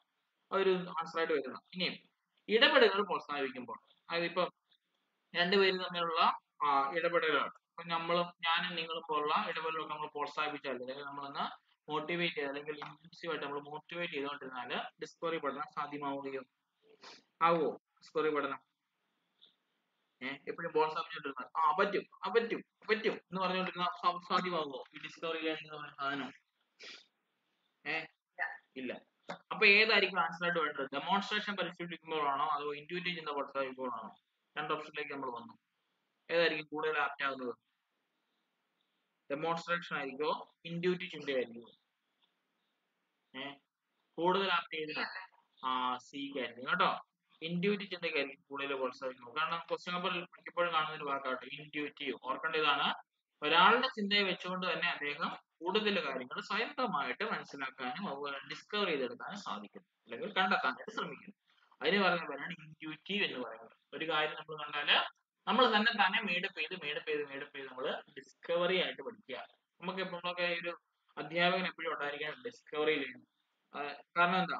ഒരു ക്ലാസ്സിലുള്ള കാര്യങ്ങൾ പഴയ ക്ലാസ്സിൽ എന്താണ് പഠിക്കുന്നത് അതിന് മുമ്പ് എന്താണെന്നും അതിന് മുമ്പ് എന്താണെന്നും ഒക്കെ നമ്മളിങ്ങനെ ഓർത്തു വെച്ചാൽ ക്ലാസ് എടുക്കാൻ നമുക്ക് ഭയങ്കര എളുപ്പമായിരിക്കും. കാരണം നമുക്ക് എല്ലാ കാര്യങ്ങളുമായിട്ട് ഒരു ഏകദേശം ഒരു ഫ്രെയിം ഓഫ് ലേണിംഗ് നമുക്ക് കാണും ഒരു ഏകദേശം ഒരു ധാരണ നമുക്ക് കാണും അതുവഴി നമുക്ക് ഇവിടെ നല്ലൊരു ക്ലാസ്സുകൾ നമുക്ക് ആ എടുത്തു വരാനായിട്ട് സാധിക്കും. അതാണ് എന്റെ ഗുണം എന്ന് പറയുന്നത്. അപ്പൊ ഓപ്ഷൻ വരേണ്ടത് ഇൻഡ്യൂറ്റീവ് ചിന്ത കേട്ടോ. ഇൻഡ്യൂറ്റീവ് ലേണിംഗ് എന്താണ് തിങ്കിങ് ആണ് ഇവിടെ ആൻസർ ആയിട്ട് വരുന്നത്. ഓക്കെ അടുത്ത ക്വസ്റ്റ്യൻ താഴെ പറയുന്നവയിൽ എക്സ്പോസിറ്റി എക്സ്പോസിറ്ററി രീതിയുമായി ബന്ധപ്പെട്ട തിയറി ഏത്? നമുക്ക് പഠിക്കാൻ ഇല്ലാത്ത കേട്ടോ. ഹൈ ലെവൽ ക്വസ്റ്റ്യൻ അല്ലേ? കാറ്റഗറി ടുവിന്റെ ആയിട്ടാ ഇങ്ങനെ വന്നത് കേട്ടോ. എക്സ്പോസിറ്റി രീതിയുമായി ബന്ധപ്പെട്ട തിയറി ഏത്? മാനവിക സിദ്ധാന്തമാണോ? മീനിങ് വെർബൽ ലേണിംഗ് തിയറി ആണോ? ഗെസ്റ്റാൾട്ട് തിയറി ആണോ? ഫീൽഡ് തിയറി ആണോ? ഇതിൽ നമ്മൾ മൂന്ന് തിയറി പഠിച്ചതാണ്. മാനവിക സിദ്ധാന്തം നമ്മൾ പഠിച്ചില്ലേ? മാനവികവാദം പഠിച്ചില്ലേ? പഠിച്ചതല്ലേ? പഠിച്ചതാ. എന്താണ്? മനുഷ്യന് ഇമ്പോർട്ടൻസ് കൊടുത്തുകൊണ്ടുള്ള കാര്യങ്ങൾ ആരൊക്കെയാ അതിനകത്ത് കണ്ടുപിടിച്ചത്? മാനവികവാദത്തിനകത്ത് ആരൊക്കെയാ നമ്മളെ ആൾക്കാര്? പെട്ടെന്ന് ഓർത്തേ. അതായത് മാനവികവാദം? ആ കാൾ റോജേഴ്സ് അബ്ദുള്ള മാസ്റ്റർ അപ്പൊ അതിന്റെ അകത്ത് ആരെങ്കിലും എക്സ്പോസിറ്റി എന്ന് വല്ലതും പറഞ്ഞായിരുന്നോ? പറഞ്ഞിട്ടുണ്ടോ? ഉണ്ടോ? ഏ? ഇല്ല. അത് പോട്ടെ. ഇനി meaning full verbal learning theory ഇതൊരിക്കലും ആൻസർ ആയിട്ട് വന്നതാ. ഓർക്കുന്നുണ്ടോ? അർത്ഥപൂർണമായ വാചിക പഠനം? അതാണ് ഉദ്ദേശിക്കുന്നത്. മീനിങ് വെർബൽ ലേണിംഗ് തിയറി അതിന്റെ ഉപജ്ഞാതാവ് ആരായിരുന്നു?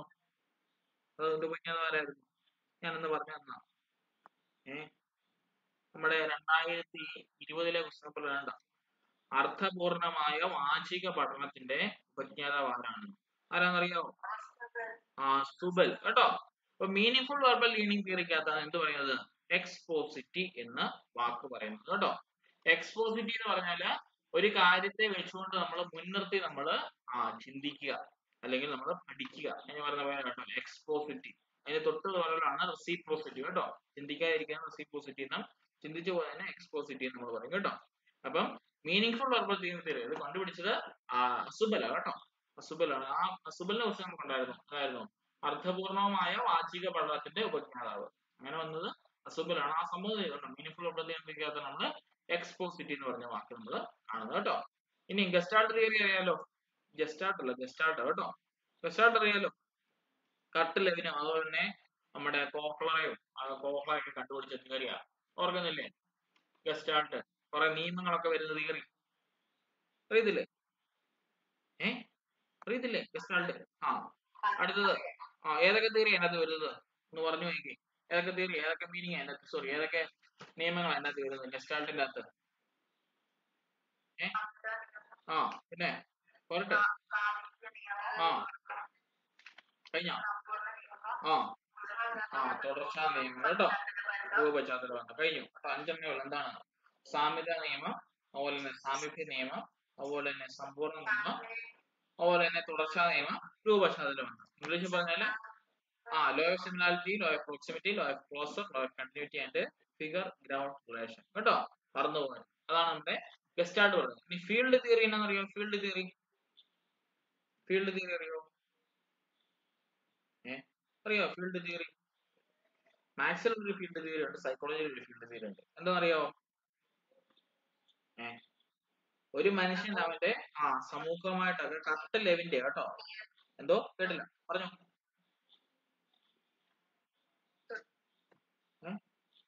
കേട്ടില്ല ഫീൽഡ് തിയറി ഫീൽഡ് എന്തോ കേട്ടില്ല. എന്താ? ഹലോ എന്താ പറഞ്ഞോ? ആ കറക്റ്റ് ഫീൽഡ് തിയറി കേട്ടോ? ഗസ്റ്റാൾട്ടിനകത്ത് തന്നെ വരുന്ന ഒരു ഇത് തന്നെ കേട്ടോ കറക്റ്റ് ലെവനാണ് ഫീൽഡ് തിയറിയുടെ ഫീൽഡ് തിയറി എന്താ മുമ്പോട്ട് വെച്ചോന്ന് അറിയാവോ? ഏ? അറിയോ? ഫീൽഡ് തിയറി കട്ടലവന്റെ കേട്ടോ? വളരെ ശരിയാ. കട്ടലവന്റെ ആണ് ഫീൽഡ് തിയറി ഫീൽഡ് തിയറി ഉദ്ദേശിക്കുന്നത് ഇത്രയേ ഉള്ളൂ. അതായത് നമ്മളിപ്പോ ഒരു പാറ്റേണുകളോ അല്ലെങ്കിൽ എന്തെങ്കിലും ഒരു എക്സാമിന്റെ കാര്യങ്ങളോ എക്സാമിൻ നമ്മൾ ചെയ്യുവാണെങ്കിൽ നമ്മൾ അതിനെ ഇൻഡിവിജ്വൽ ഇപ്പൊ ഒരു വ്യക്തി ഒരു പാറ്റേൺ ഇപ്പൊ സോൾവ് ചെയ്യാനായിട്ട് എടുക്കുക അപ്പൊ ആ വ്യക്തി അവന്റെ പരിസ്ഥിതിയുമായിട്ടൊക്കെ വെച്ചുകൊണ്ട് കണക്ട് ചെയ്തുകൊണ്ട് നമ്മളിപ്പോ സുഡോക്കോ നമ്മൾ സോൾവ് ചെയ്യാൻ എടുക്കും. അപ്പൊ നമുക്കറിയാൻ പറ്റും വൺ ടു നയൻ നമ്പേഴ്സ് വരത്തുള്ളൂ. ഒരു വട്ടമേ ഒരു ഇതിനകത്ത് റിപ്പീറ്റ് ചെയ്യാവുള്ളൂ. ഹൊറിസോണ്ടലി വെർട്ടിക്കലി ഓവലും ഡയഗണലി ഒക്കെ വന്നാലും ആ നമ്പർ ഒരു വട്ടം വരാവുള്ളൂ. ഇങ്ങനെയൊക്കെ അവൻ ആലോചിച്ച് കണ്ടു ചെയ്യുന്ന ഒരു തിയറിക്ക് പറയുന്ന പേരാണ് ഫീൽഡ് തിയറി അതായത് അവന്റെ ലേണിംഗ് എൻവയോൺമെന്റുമായിട്ട് കൊണ്ട് അവൻ ഇടപെട്ടുകൊണ്ട് അല്ലെങ്കിൽ അവൻ എന്താണ് ഇടപഴകിക്കൊണ്ട് അവൻ ചെയ്യുന്ന കാര്യങ്ങൾ. അങ്ങനെയാണ് ഫീൽഡ് ചെയ്യുന്നത്. കണ്ടുപിടിച്ചത് കറക്റ്റ് വരും കേട്ടോ. ഫീൽഡ് തിയറിക്കകത്ത് ഒരിക്കലും ഈ എക്സ്പോസിറ്റി എന്ന് പറഞ്ഞൊരു വാക്ക് വരുന്നില്ല. എക്സ്പോസിറ്റി എന്ന് പറഞ്ഞ വാക്ക് നമ്മുടെ മീനിങ് ഫുൾ വെർബൽ തിയറി അഥവാ അർത്ഥപൂർണമായ വാർഷിക പഠനത്തിനകത്ത് നമ്മുടെ അസുബൽ കൊണ്ടുവന്നാണ് ഈ എക്സ്പോസിറ്റി എന്ന് പറയുന്ന വാക്ക് കേട്ടോ. ഓർത്തിരിക്കണം. ഓക്കെ അടുത്ത ക്വസ്റ്റ്യൻ ഒരു പ്രൈമറി സ്കൂൾ വിദ്യാർത്ഥിയായ അർജുൻ താഴെ പറയുന്ന സോറി ഒരു പ്രൈമറി സ്കൂൾ വിദ്യാർത്ഥിയുടെ അർജുൻ പഠനത്തിൽ താല്പര്യം കാണിക്കുകയും പഠന പ്രവർത്തനങ്ങൾ ആത്മാർത്ഥമായി പൂർത്തിയാക്കാൻ ശ്രമിക്കുകയും ചെയ്യുന്നു. എറിക്സന്റെ സിദ്ധാന്തം അനുസരിച്ച് അവൻ ഏത് ഘട്ടത്തിലാണ്? ഓപ്ഷൻ കാണിക്കുന്നില്ല. പറഞ്ഞു. പ്രൈമറി സ്കൂൾ കാലഘട്ടം അല്ലെങ്കിൽ പ്രൈമറി സ്കൂൾ കാലഘട്ടത്തിൽ വരുന്ന കുട്ടി എവിടെയായിരിക്കും? എറിക്സന്റെ ഇത് പ്രകാരം എവിടെയായിരിക്കും വരേണ്ടത്? ഏ? എവിടെയാ? സ്വയം തീരുമാനമെടുക്കൽ അഥവാ ലജ്ജയിലാണോ? മുൻകൈ എടുക്കൽ കുറ്റബോധത്തിലാണോ? സ്വസ്ഥാപനം വേഴ്സസ് സ്വപ്രസിദ്ധിയിലാണോ അധ്വാനം വേഴ്സസ് അപകർഷതയിലാണോ ഏ? എവിടെയായിരിക്കും? പ്രൈമറി സ്കൂളാ കേട്ടോ. പ്രൈമറി സ്കൂളാ പ്രീ സ്കൂൾ അല്ല. പ്രൈമറി സ്കൂളാ ഉദ്ദേശിക്കുന്നത് അതായത് സ്കൂൾ ആ സ്കൂൾ കാലഘട്ടമാണ് ഉദ്ദേശിക്കുന്നത് പ്രൈമറി സ്കൂൾ കേട്ടോ. മറ്റേത് പ്രീ സ്കൂളാ ഏതാണ് മുൻകൈ എടുക്കൽ കുറ്റവാദം സ്കൂൾ കാലഘട്ടം. പ്രൈമറി സോറി പ്രീ സ്കൂൾ കാലഘട്ടം വരുന്നത് അപ്പം മറ്റേത് പ്രൈമറി സ്കൂൾ എന്ന് വെച്ചാൽ നമ്മുടെ സ്കൂൾ കാലഘട്ടം തന്നെ ഉദ്ദേശിക്കുന്നത്. കുഞ്ഞെ ആ സ്കൂൾ കാലഘട്ടം തന്നെ ഉദ്ദേശിക്കുന്നത്. അപ്പൊ അവരുടെ എന്താ വരേണ്ടത്? അധ്വാനം ബേസിസ് അപകർഷത. കേട്ടോ? അർത്ഥം പോയത് അപ്പൊ സ്കൂളും പ്രൈമറി സ്കൂളും എല്ലാം ഒന്നാ നോട്ടാണ് കേട്ടോ. പ്രൈമറി സ്കൂൾ നമുക്ക് അറിയാലോ എന്താണ്? വൺ ടു ഫോർ തൊട്ട് കഴിഞ്ഞുള്ള കാലഘട്ടം പ്രൈമറി സ്കൂൾ ഉദ്ദേശിച്ചത് മറ്റേത് പ്രീ സ്കൂൾ ഇന്റർ ഗാർഡൻ പോലുള്ള കാര്യങ്ങളാണ് കേട്ടോ. മറ്റേ അവിടെ ആരെങ്കിലും എന്ത് ആൻസർ വന്നേനെ? ഏത് ആൻസർ വന്നേനെ? ആ മുൻകൈയെടുക്കൽ കുറ്റവാദം കേട്ടോ. അപ്പൊ ഇങ്ങനെ ഓർത്ത് ഓർത്ത് വെക്കണം കേട്ടോ. പിന്നെ ഇപ്പൊ കൗമാര കാലഘട്ടത്തിലായിരുന്നെങ്കിലോ? കൗമാര കാലഘട്ടത്തിലായിരുന്നെങ്കിൽ എന്ത് വന്നേനെ?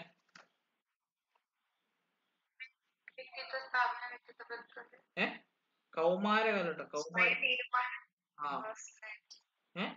ഏ ഉറപ്പില്ലാത്തതിനാ? ഒരു കാര്യത്തിലും. ഒന്ന് ഉറപ്പിച്ചങ്ങ് പറഞ്ഞേ. ആ തീരുമാനം എടുക്കൽ അതുപോലെ തന്നെ. സ്വയമായിട്ട് നമ്മൾ തീരുമാനം എടുക്കുക എന്നാ പറ്റും? ഒന്നുകിൽ നന്നാവും അല്ലെങ്കിൽ നന്നാവാതിരിക്കും. കേട്ടോ? അപ്പൊ അതൊക്കെ ഓർത്തു പോകണം കേട്ടോ. മറന്നു പോകരുത് ഈ കാര്യങ്ങളൊന്നും. പഠിച്ച കാര്യങ്ങൾ മറക്കാതിരിക്കും അതിനാണ് നമുക്ക് അപ്പൊ ഇവിടെ വേണ്ടത് സ്കൂൾ കാലഘട്ടം. എവിടെയാണ് നമ്മുടെ അധ്വാനം വേഴ്സസ് അവകാശം. കേട്ടോ? ഓക്കെ നോക്കി നിങ്ങളുടെ സ്കൂളിൽ ലൈംഗിക പീഡനം നടന്നതായി വിവരം ലഭിച്ചാൽ അധ്യാപകൻ അല്ലെങ്കിൽ അധ്യാപിക എന്ന നിലയിൽ ആദ്യപടി എന്തായിരിക്കും ചെയ്യേണ്ടത്? അപ്പൊ നിങ്ങളുടെ സ്കൂളിൽ നമ്മൾ അറിഞ്ഞു എന്താണ് ഇങ്ങനെ ഒരു കാര്യം നടന്നു എന്ന് പറയുകയാണ്. അപ്പൊ അങ്ങനെ സംഭവിച്ചു നിങ്ങൾ ആദ്യമായിട്ട് ചെയ്യേണ്ടത് എന്താണ്? സ്കൂൾ അധികൃതരെ വിവരം അറിയിക്കുകയാണോ? ചൈൽഡ് ലൈൻ കേന്ദ്രത്തിൽ അറിയിക്കുകയാണോ? സംഭവം സ്ഥിരീകരിക്കുകയാണോ? രക്ഷിതാക്കളെ വിവരം അറിയിക്കുകയാണോ? ചെയ്യേണ്ടത് നിങ്ങൾ മാത്രം അറിഞ്ഞിട്ടുള്ളൂ അതോ അറിയിക്കണ്ടേ. ഏഹ് ആ. സംഭവം സ്ഥിരീകരിക്കണം കേട്ടോ. നടന്നോ ഇല്ലയോ എന്ന് സ്ഥിരീകരിക്കണം. അതായത് നമ്മൾ നമ്മളൊന്നും പോകരുത്. ഇതാണ് നിങ്ങളുടെ സ്കൂളിൽ നട ലൈംഗികപീഡനം ലൈംഗിക പീഡനം നടന്നതായി വിവരം നിങ്ങൾക്ക് ലഭിച്ചാൽ അധ്യാപകൻ അല്ലെങ്കിൽ അധ്യാപിക എന്ന നിലയിൽ അതായത് നമ്മൾ സ്വന്തമായിട്ട് അറിഞ്ഞത് ആ വടയിൽ ആദ്യമായിട്ട് എന്തായിരിക്കുന്നത്? സ്കൂൾ അധികാരിയെ ചാടിക്കയറി അറിയിക്കാൻ പോലും കാരണം എല്ലാവരും അറിയണം ചൈൽഡ് ലൈൻ കേന്ദ്രത്തിൽ പത്ത് ഇരുപത്തി ഒമ്പത് വിളിച്ചു അല്ലെ? ചൈൽഡ് ലൈൻ ഹെൽപ്ലൈൻ നമ്പർ അറിയാവോ? എത്രയാണ്? ഏഹ് അറിയാവോ? ടീച്ചർമാരൊക്കെ അറിഞ്ഞു നോക്കണ്ടോ? അറിയാവോ? ചൈൽഡ് ലൈൻ ഹെൽപ്ലൈൻ നമ്പർ എല്ലാ സ്കൂൾ ബസ്സിന്റെയൊക്കെ പുറകെ എഴുതി വെക്കുന്ന ചൈൽഡ് ഹെൽപ്പ് നമ്പർ അറിയാവോ? ഏ? അറിയോ ഞാനിപ്പോ അറിയാതെ പറഞ്ഞു പോയതാ. അറിയോ പത്ത് ഇരുപത്തി ഒമ്പത് കേട്ടോ വൺ സീറോ ടു അപ്പൊ അതിലോട്ടൊക്കെ വിളിച്ച് കാര്യങ്ങൾ പറയുകയൊന്നും ചെയ്യരുത്. സംഭവം നമ്മൾ സ്ഥിരീകരിക്കണം രക്ഷിതാക്കളെ വിവരം അറിയിക്കില്ല കാരണം രക്ഷിതാക്കൾ പെട്ടെന്ന് പാനിക്കാവും പേടിക്കും. അതുകൊണ്ട് നമ്മൾ സംഭവം നടന്നോ ഇല്ലയോ നോക്കിയിട്ട് വേണം നമ്മൾ അവരെ വിവരങ്ങൾ കുറച്ച് എന്താ കാര്യങ്ങൾ അതിന്റെതായിട്ടുള്ള രീതി നമ്മൾ മനസ്സിലാക്കിയെടുക്കണം. അല്ല ചാടി കയറി കുഞ്ഞിനെ പറ്റിപ്പോയി അത് ഭക്ഷണമാണ് അത് ഇതാണെന്ന് പറഞ്ഞ് അവരുടെ എന്താണ് അവരെ കൂടുതൽ ടെൻഷനാക്കി എടുക്കുക കേട്ടോ. ഓക്കെ അതാണ് ഉദ്ദേശിക്കുന്നത്. അപ്പൊ സംഭവം നമ്മൾ സ്ഥിരീകരിക്കണം ആണ് ആൻസർ ആയിട്ട് വരുന്നത്. ഓക്കെ അടുത്ത ക്വസ്റ്റ്യൻ പഠനത്തിന്റെ പ്രാരംഭ ഘട്ടത്തിൽ മാതൃഭാഷയിൽ കൂടിയുള്ള പഠനമാണ് അഭികാമ്യമായത്. താഴെ പറയുന്നതിൽ ഏറ്റവും അനുയോജ്യമായിട്ടുള്ള കാരണം എന്ത് ഉദ്ദേശിക്കുന്നത് ഉള്ളൂ. പ്രൈമറി കാലഘട്ടത്തിൽ അല്ലെങ്കിൽ പഠനത്തിന്റെ പ്രാരംഭ കാലഘട്ടത്തിൽ. അതായത് എൽ പി ലെവലിലൊക്കെ നമ്മൾ മാതൃഭാഷയിൽ അല്ലെങ്കിൽ നമ്മുടെ മദർ ടങ്ങിൽ വേണം കാര്യങ്ങൾ പറഞ്ഞ് പഠിപ്പിക്കാൻ. അതിനുള്ള കാരണം എന്താണ്? കുട്ടികളിൽ ആത്മവിശ്വാസം വർദ്ധിപ്പിക്കുന്നു. രണ്ടാമത്തേത് സ്വാഭാവിക സാഹചര്യങ്ങളിൽ പഠനം സാധ്യമാക്കാൻ സഹായിക്കുന്നു. മൂന്നാമത്തേത് പഠനം എളുപ്പമാക്കുന്നു. നാലാമത്തേത് ഭൗതിക വികാസം സഹായിക്കുന്നു. ഇതിലെല്ലാം ഉത്തരം ശരിയായിട്ട് വരാം. അല്ലെ? ശരിയല്ലേ? ശരിയല്ലേ? ഈ കാണിച്ചതെല്ലാം ആൻസർ ആയിട്ട് വരുന്നില്ലേ ഒന്നാമത്തെ എന്തായിരുന്നു? കുട്ടികളിൽ ആത്മസ്ഥത അതായത് നമ്മളിപ്പം ഒരു കാര്യം ഇംഗ്ലീഷിൽ പറയുന്നു മലയാളത്തിൽ പറയുന്നു നമുക്ക് ആ എന്താണ്? നല്ല വ്യത്യാസമുണ്ട് അല്ലേ? മലയാളത്തിൽ പറഞ്ഞാൽ നമുക്ക് കൂടുതൽ മനസ്സിലാവും. അപ്പൊ കുട്ടികളിൽ ഒരു ആത്മവിശ്വാസം വർദ്ധിപ്പിക്കും അല്ലെ? എന്നെ കൊണ്ട് പറ്റുമെന്ന് ചിന്ത വരും. അവിടെ കിടക്കട്ടെ. രണ്ടാമത്തെ എന്താണ്? സ്വാഭാവിക സാഹചര്യങ്ങളിൽ പഠനം സാധ്യമാക്കാൻ സഹായിക്കും. അതായത് ഏത് സാഹചര്യമാണെങ്കിൽ പോലും ഒരു എക്സാമ്പിളോ അല്ലെങ്കിൽ എന്നാ നിങ്ങൾ അവരുടെ വീട്ടിൽ കണ്ടില്ലേ? അല്ലെങ്കിൽ നമ്മൾ വീട്ടിൽ കാണാറില്ലേ? ഇതുപോലുള്ള സാഹചര്യങ്ങളൊക്കെ വെച്ചാണ് നമ്മൾ പഠനം സാധ്യമാക്കാൻ സഹായിക്കുന്നത് അതും ആൻസർ ആണ്. ഇനി പഠനം എളുപ്പമാക്കുന്നു ശരിയല്ലേ? ഈസിയർ ടു ലേൺ പഠിക്കാനായിട്ട് നമുക്ക് പെട്ടെന്ന് നമുക്ക് കാര്യങ്ങൾ നമുക്ക് ഗ്രഹിക്കാൻ പറ്റും. പിന്നെ ഉള്ളത് ഭൗതിക വികാസം സഹായിക്കുന്നു അതും ശരിയാ. അപ്പൊ ഏത് നമ്മൾ ശരിയായിട്ട് എടുക്കുന്നത് ഏറ്റവും ആപ്റ്റ് ഏതാന്ന് നോക്കുക. അതുകൊണ്ട് കാര്യം കിട്ടും. നിങ്ങൾക്ക് ഏതായിട്ടാ തോന്നുന്നത്? പിന്നെ അത് ഏറ്റവും നല്ലത്?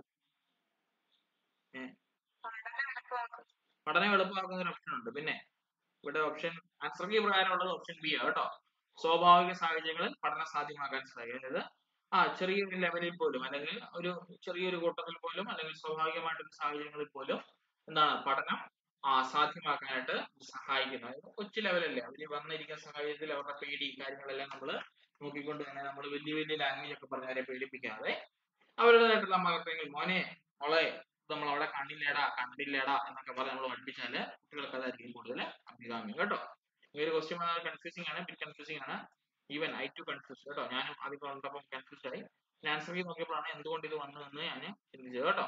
ഇത്ര കൺഫ്യൂസിംഗ് ആണ് ക്വസ്റ്റ്യൻ കേട്ടോ. കാരണം എല്ലാ ആൻസർ വന്നാണ്. അപ്പം മേ ബി ആ ക്വസ്റ്റ്യൻ തള്ളിപ്പോയില്ലെന്ന് എനിക്ക് അറിയത്തില്ല രണ്ടായിരത്തി പതിനെട്ടിലെ പഴയ ക്വസ്റ്റ്യൻ നമുക്ക് എടുക്കാൻ പറ്റില്ല കേട്ടോ. എനിക്ക് ചിലപ്പോൾ ഈ ഇത് കാരണം എന്താണ്? ഇപ്പൊ കേട്ടിട്ട് ഒരു മാർക്ക് കൂടി വന്നില്ലേ? എന്ന് പറഞ്ഞ പോലെ ചിലപ്പം ക്വസ്റ്റ്യൻ തള്ളിപ്പോയതായിരിക്കും. അതുപോലെ കൺഫ്യൂസിങ് ക്വസ്റ്റ്യൻ അല്ലേ? എല്ലാ ആൻസർ ആയിട്ട് വരികയും ചെയ്തില്ല. അപ്പം ഏതാണ് ആപ്റ്റ് കുട്ടികൾക്ക് സമയം പോകുന്നതിനൊക്കെ പറഞ്ഞ് കംപ്ലൈന്റ് വരുന്നുണ്ടെന്നാൽ അത് തള്ളിപ്പോകാൻ സാധ്യത അപ്പം ഇവിടെ ആൻസർ ഈ വരാതെ ഓപ്ഷൻ ബി ആണ്. അത് നിങ്ങൾ ഓർത്ത് വെക്കുക. ഓക്കെ അടുത്തേക്ക് താഴെ പറയുന്നതിൽ സംവേദന നിയമം അല്ലാത്തത് ഏത്? ഒന്നാമത്തേത് സമീപത. രണ്ടാമത്തേത് തുടർച്ച. മൂന്നാമത്തേത് വിവേചനം. നാലാമത്തേത് ഫിഗർ ഗ്രൗണ്ട് ഏതാണ് സംവേദന നിയമം അല്ലാത്തത്? ആ വിവേചനം. കേട്ടോ? എന്താ സംവേദന നിയമം എന്നറിയോ? സംവേദന നിയമം. സംവേദന നിയമം. കേട്ടിട്ടുണ്ടോ? ഇവിടെ സംവേദന നിയമം ഏ? റോറി അത് പറയാൻ അകറ്റാൻസിതത്തെ ആ അത് തന്നെ കേട്ടോ. ആ സംഭവം ശരിയാണ് കേട്ടോ. അതായത് നമ്മുടെ ഗസ്റ്റാൾട്ട് സിദ്ധാന്തത്തിനകത്ത് നമ്മൾ അവസാനം പഠിച്ചില്ലേ? ആ സമഗ്രതാ നിയമം. ആ സാധനം തന്നെ ഇവിടെ വരുന്നത്. സംവേദന നിയമത്തിനകത്ത് വരുന്നത് കേട്ടോ. ജസ്റ്റ് മലയാളത്തിലുള്ള പേരുകൾ കണ്ടാൽ നിങ്ങൾ പേടിക്കൊന്നും വേണം നമ്മൾ പഠിച്ച കാര്യങ്ങൾ അതായത് നമ്മൾ പഠിച്ചില്ലേ? സമീപത പ്രോക്ഷ ഗ്രൗണ്ട് ഇപ്പൊ നമ്മൾ പഠിച്ചില്ലേ? ഇപ്പൊ പഠിച്ചില്ലായിരുന്നോ? സാമീപ്യ നിയമം തുടർച്ചാ നിയമം ആ ഫിഗർ ഗ്രൗണ്ട് രൂപ പശ്ചാത്തല ബന്ധം അതിന്റെ ഇംഗ്ലീഷ് ആയോ ഫിഗർ ഗ്രൗണ്ട് അവിടെ ഒരു വിവേചനം കണ്ടായിരുന്നോ? ഡിസ്ക്രിമിനേഷൻ എവിടെയെങ്കിലും കണ്ടായിരുന്നോ? ഇപ്പൊ ഞാൻ പറഞ്ഞതിനകത്ത്. ഇല്ല. കേട്ടോ? മുമ്പ് എവിടെ നിന്ന് പറഞ്ഞില്ലേ? സ്കൂളിലൊക്കെ ഇവിടെ നിന്ന് വാദോരാതെ എന്ന് പറഞ്ഞായിരുന്നു. തുടർച്ചാ നിയമം പരിപൂർത്തി നിയമം സാമീപ്യ നിയമം അതുപോലെ രൂപ ബന്ധം എന്നൊക്കെ പറഞ്ഞിട്ട് ഇപ്പത്തെ ഈ ക്വസ്റ്റ്യൻ കണ്ടപ്പം ആ ഏതപ്പാ? ബോധമംഗലം അങ്ങനെ ഇരിക്കില്ല? കേട്ടോ? സംവേദന നിയമം നമ്മുടെ ഗസ്റ്റാൾ സിദ്ധാന്തം തന്നെ ഒന്നാണ് ബാക്കി നിങ്ങൾ സാമൂഹിക സാമീപ്യ നിയമം കണ്ടിട്ടുണ്ട് തുടർച്ചാ നിയമം കണ്ടിട്ടുണ്ട് ഫിഗർ അവിടെ കണ്ടിട്ടുണ്ട്. അപ്പൊ ഓർക്കണം. ഇതൊക്കെ ആരുമായിട്ട് ബന്ധപ്പെട്ടതാ? നമ്മുടെ ഗസ്റ്റാളിന്റെ ബന്ധപ്പെട്ട ഒരു വിവേചനം ഒരിക്കലും ഇല്ല കേട്ടോ. അങ്ങനെയൊക്കെ നിങ്ങൾ തിങ്ക് ചെയ്യണം. കേട്ടോ? അടുത്ത ക്വസ്റ്റ്യൻ കണ്ടീഷൻ നടന്ന പ്രതികരണങ്ങളുടെ തീവ്രത കുറയ്ക്കുന്നതിനുള്ള പഠന പ്രക്രിയയാണ്. അതായത് കണ്ടീഷൻ നടന്നു. അതിന്റെ തീവ്രത നമുക്ക് കുറയ്ക്കണം. തീവ്രത കുറയ്ക്കാൻ നമ്മൾ പറയുന്ന പേരെന്താണ്? പ്രബലനം എന്നാണോ ശിക്ഷ എന്നാണോ? വിലോപം എന്നാണോ? അതോ ഡിലേഡ് കണ്ടീഷൻ എന്നാണോ? എന്താണ്? പ്രതികരണങ്ങളുടെ തീവ്രത നമ്മൾ കുറച്ചെടുക്കണം. അതിന് പറയുന്ന പേരെന്ത്? ഏ? വിലോപം കുറച്ച് കുറച്ച് നമ്മൾ ഇല്ലാതാക്കുന്നതിന് പറയുന്ന പേരെന്താ? പറഞ്ഞേ. ഏ? എക്സ്റ്റിങ്ഷൻ എന്ന് പറഞ്ഞാൽ എന്നാണെന്നറിയാവോ അതിന്റെ മലയാളം. സോറി അതിന്റെ ഇംഗ്ലീഷ് ആയി കിടക്കുന്നതിനകത്ത്. ആ വിലോപം. ആ കിടക്കുന്ന അറിയോ നമ്മുടെ സൈക്കോളജി സെം ടൂവിൽ പൗരാണിക അനുബന്ധ സിദ്ധാന്തം ആരുടെയാ? Classical conditioning ആരുടെയാ? എന്താ പത്തൊമ്പത് ഇരുപത് നൂറ്റാണ്ടിലൊക്കെ നമ്മുടെ ആര് കണ്ടുപിടിച്ചതാണെന്ന് അറിയാവോ? നമ്മുടെ പാവലോ. എല്ലാരും പട്ടി എല്ലാരും പട്ടിപ്പാവലോ എന്നൊക്കെ പറയുന്ന നമ്മുടെ പാവലോ കണ്ടുപിടിച്ച തിയറിക്കകത്തുള്ളതാണ്. ഇത് നമ്മുടെ കണ്ടീഷനിങ് അല്ലെ? അതായത് നമ്മൾ പട്ടിക്ക് ഇറച്ചിപ്പൊടി കൊടുക്കുക വായി മുങ്ങി ശ്രമം വരിക അപ്പൊ നമ്മളൊരു കണ്ടീഷനിങ് ചോദകം അതുപോലെ തന്നെ അൺകണ്ടീഷണൽ ചോദകം ഒക്കെ നമ്മൾ പഠിച്ചതല്ലേ? അപ്പൊ അതിൽ കണ്ടീഷൻ നടന്ന ഒരു പ്രതികരണത്തിന്റെ തീവ്രത നമുക്ക് കുറയ്ക്കണം. അതായത് ഓൾറെഡി നമ്മൾ കണ്ടീഷൻ എല്ലാം നടത്തി അത് നടന്നുകൊണ്ടേ ഇരിക്കുക അപ്പൊ അതിന്റെ തീവ്രത കുറയ്ക്കാനായിട്ട് നമ്മൾ എന്ത് ചെയ്താൽ മതി? വിലോപം ചെയ്താൽ മതി. എന്ന് പറഞ്ഞാൽ എന്താ? ഇല്ലാതാക്കിയാൽ മതി. അല്ലെ? വിലോപം എന്ന് വെച്ചാൽ എപ്പോഴും ഓർക്കണം എക്സ്റ്റിങ്ഷൻ അഥവാ ഇല്ലാതാക്കി തീർക്കുക. ആ എക്സാമ്പിൾ പ്രകാരം മണിയൊച്ച കേൾക്കുന്ന പട്ടി ഉടനെ ഉമ്മനീശ്രവം വരുത്തുമെങ്കിൽ മണിയൊച്ച കേൾപ്പിച്ച് നമ്മൾ ഇറച്ചിപ്പൊടി കൊടുക്കാതിരിക്കുക. അപ്പൊ കുറച്ചുനാൾ പിന്നെ മണിയൊച്ച കേൾപ്പിച്ചുകൊണ്ട് തന്നെ ഇരുന്നാൽ ആ നമ്മൾ ഇറച്ചിപ്പൊടി കൊടുക്കാതിരുന്നാൽ പട്ടിയുടെ വരും. ഉമ്മീസവും പതുക്കെ പതുക്കെ പതുക്കെ ഇല്ലാതായി തീരും അപ്പൊ കണ്ടീഷനിൽ നമ്മൾ ചെയ്ത കാര്യം നമുക്ക് വേണമെങ്കിൽ ഇല്ലാതാക്കി തീരാം. എന്ന് പറഞ്ഞ പേരാണ് വിലോപം. കേട്ടോ? ഇവിടെ ആൻസർ വരേണ്ടത് വിലോപമാണ്. ഇനി പ്രബലനം എന്ന് പറഞ്ഞാൽ എന്താ? പ്രബലനം എന്ന് പറഞ്ഞാൽ എന്താ? റീഇൻഫോഴ്സ്മെന്റ് അല്ലേ? എന്ന് പറഞ്ഞാൽ നമ്മളൊരു കാര്യത്തിന് നമ്മൾ വീണ്ടും വീണ്ടും മുൻനിർത്തി കൊടുക്കുക. ഇനി ശിക്ഷ എന്ന് പറഞ്ഞാൽ നമുക്കറിയാലോ ശിക്ഷയും പ്രബലനവും നമ്മൾ അതാരുടെ കാഴ്ചപ്പാടിൽ നിന്നാണ് നമ്മുടെ ആരുടെ? നമ്മുടെ ഇങ്ങോട്ട് വരുമ്പോ നമ്മുടെ സ്കിന്നർ അല്ലേ? സ്കിന്നറിന്റെ അകത്ത് നമ്മൾ വന്ന പ്രബലനം അല്ലെ? റീഎൻഫോഴ്സ്മെന്റും അതുപോലെ തന്നെ ഋണപ്രബലനം ധനപ്രബലനം ഇതൊക്കെ വേണ്ടതുള്ള ശിക്ഷയും അതുപോലെ തന്നെ അനുസരണയും. വ്യത്യാസമൊക്കെ നമ്മൾ കണ്ടോ. അപ്പൊ ശിക്ഷ ഒരിക്കലും ചെയ്യാണ്ടൊരു മലയാളം ഇനി ഡിലേഡ് കണ്ടീഷനിങ് എന്ന് പറഞ്ഞാൽ ഡിലേഡ് കണ്ടീഷൻ എന്ന് പറഞ്ഞാൽ വിളംബിത അനുബന്ധിത പ്രതികരണം. അതായത് ഉദ്ദേശിക്കുന്ന ഇത്രേ ഉള്ളൂ. നമ്മളിപ്പോ ഒരു കാര്യത്തെ എന്ത് ചെയ്താൽ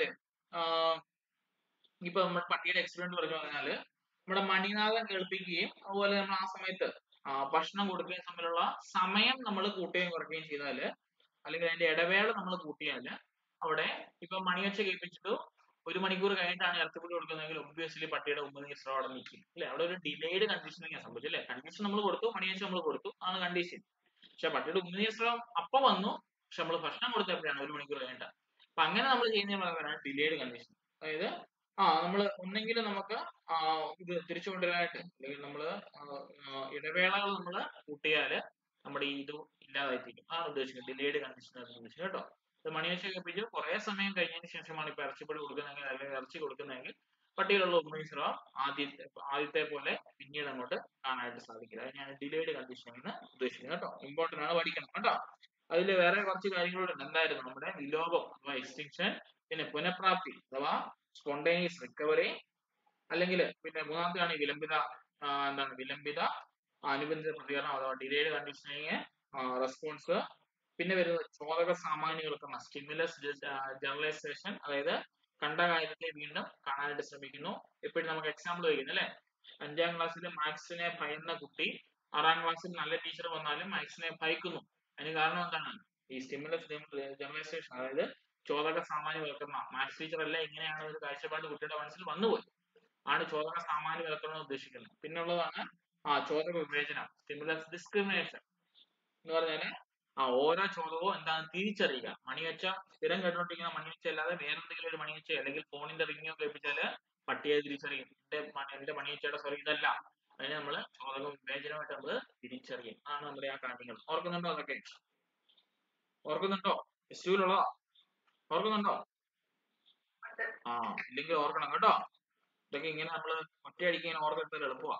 കേട്ടോ ഞാൻ ഇങ്ങനെ പറയുന്നത് ബോറടിക്കുന്നുണ്ടോ ഉണ്ടോ ഉണ്ടെങ്കിൽ ഒന്നും ചെയ്യാനില്ല. കേട്ടിരുന്നേ പറ്റത്തില്ല ആ ഉണ്ടെങ്കിൽ ഒന്നും ചെയ്യാനില്ല. കേട്ടിരുന്നേ പറ്റത്തുള്ളൂ. ഇതെല്ലാം പഠിക്കേണ്ട കാര്യങ്ങളാണ് ഓക്കെ ഇങ്ങനെ നമ്മൾ ഓർത്തിരിക്കണം കേട്ടോ. കാരണം നമുക്ക് ഏറ്റവും കൂടുതൽ വേണ്ടത് കേട്ടിട്ട് പരീക്ഷയ്ക്ക് വേണ്ടത് കണക്ഷനും അതുപോലെ തന്നെ ഇച്ചിരി ഇന്റലിജന്റ് ഓർത്തിരിക്കാനുള്ള ശേഷിയാണ് വേണ്ടത്. ഇത് ഇവിടെ ഉണ്ടെങ്കിൽ മാത്രമേ നമുക്ക് അടുത്ത കൊല്ലം വരുന്ന എൽ പി യു പിക്കകത്ത് കൂടുതൽ ഉപയോഗിക്കാൻ പറ്റുള്ളൂ കാരണം അവിടെ നെഗറ്റീവ് മാർക്കിംഗ് വരും. അതുപോലെ തന്നെ നമുക്ക് ആൻസർ ഏതാണെന്നുള്ള മൈ കൺഫ്യൂസിങ് ഒരുപാട് വരുന്ന ക്വസ്റ്റ്യൻസ് അവിടെ വരുന്നത്. നിങ്ങൾ എൽ പി യുടെ ക്വസ്റ്റ്യൻ സോൾവ് ചെയ്യാൻ നോക്കി അറിയാം. ഇതൊന്നും അല്ല ക്വസ്റ്റ്യൻസ് വരുന്നത്. നല്ല രീതിക്ക് നമ്മൾ കൺഫ്യൂഷൻ അതാണ് ഇതാണ് ഒക്കെയുള്ള ഇത് വരും. അപ്പൊ നമ്മൾ ചിന്തിച്ച് നല്ല ആരാണ് എന്താണ് ഇവരുടെ എന്താണ് ഇതിലൊക്കെ ഇതൊക്കെ ഇല്ലേ എന്നൊരു കാഴ്ചപ്പാട് നമ്മൾ രൂപീകരിച്ചു അത് നിങ്ങൾ പറഞ്ഞ സ്റ്റിക്കി നോട്ട്സ് ഒക്കെ എഴുതി അവരുടെ കൊണ്ട് പഠിച്ചു നോക്കണം അല്ലെങ്കിൽ നമ്മൾ ഒരാളുടെ പേര് കേട്ടാൽ അയാളോട് ബന്ധപ്പെട്ട കാര്യങ്ങളെല്ലാം നമ്മൾ ഓർത്തെടുക്കാൻ ശ്രമിക്കണം. നമ്മളിപ്പോ ഒരുപാട് വട്ടം റിപ്പീറ്റ് ചെയ്ത് പഠിക്കുമ്പോൾ നമുക്ക് എവിടെയെങ്കിലുമൊക്കെ ആരെങ്കിലുമൊക്കെ ചില കാര്യങ്ങളൊക്കെ ഓർക്കുന്നില്ലേ? അങ്ങനെ കണ്ടിന്യൂസ് ആയിട്ട് ചെയ്താൽ നമുക്കത് കിട്ടും കേട്ടോ. ഓക്കെ ഇപ്പൊ ട്രൈ ചെയ്യുക കേട്ടോ. നോക്കി രത്ന പ്രത്യേക സ്വഭാവ ശേഷികൾ കാണിക്കുന്ന സർഗശേഷിയുള്ള ഒരു വിദ്യാർത്ഥിനിയാണ് താഴെ പറയുന്നതിൽ അവളുടെ സ്വഭാവവുമായി ബന്ധമില്ലാത്തത് ഏത്? സമ്പ്രജന ചിന്ത വിവർജന ചിന്ത ആശയങ്ങളുടെ പുതുമ വ്യത്യസ്ത പ്രതികരണങ്ങൾ. ഇവിടെ ചോദിച്ച ക്വസ്റ്റ്യൻ വായിച്ചേ രത്ന എന്ന് പറഞ്ഞ കുട്ടി എന്താണ്? പ്രത്യേക സ്വഭാവ സവിശേഷതകൾ കാണിക്കുന്ന സർഗശേഷിയുള്ള ഒരു വിദ്യാർത്ഥിനിയാണ്.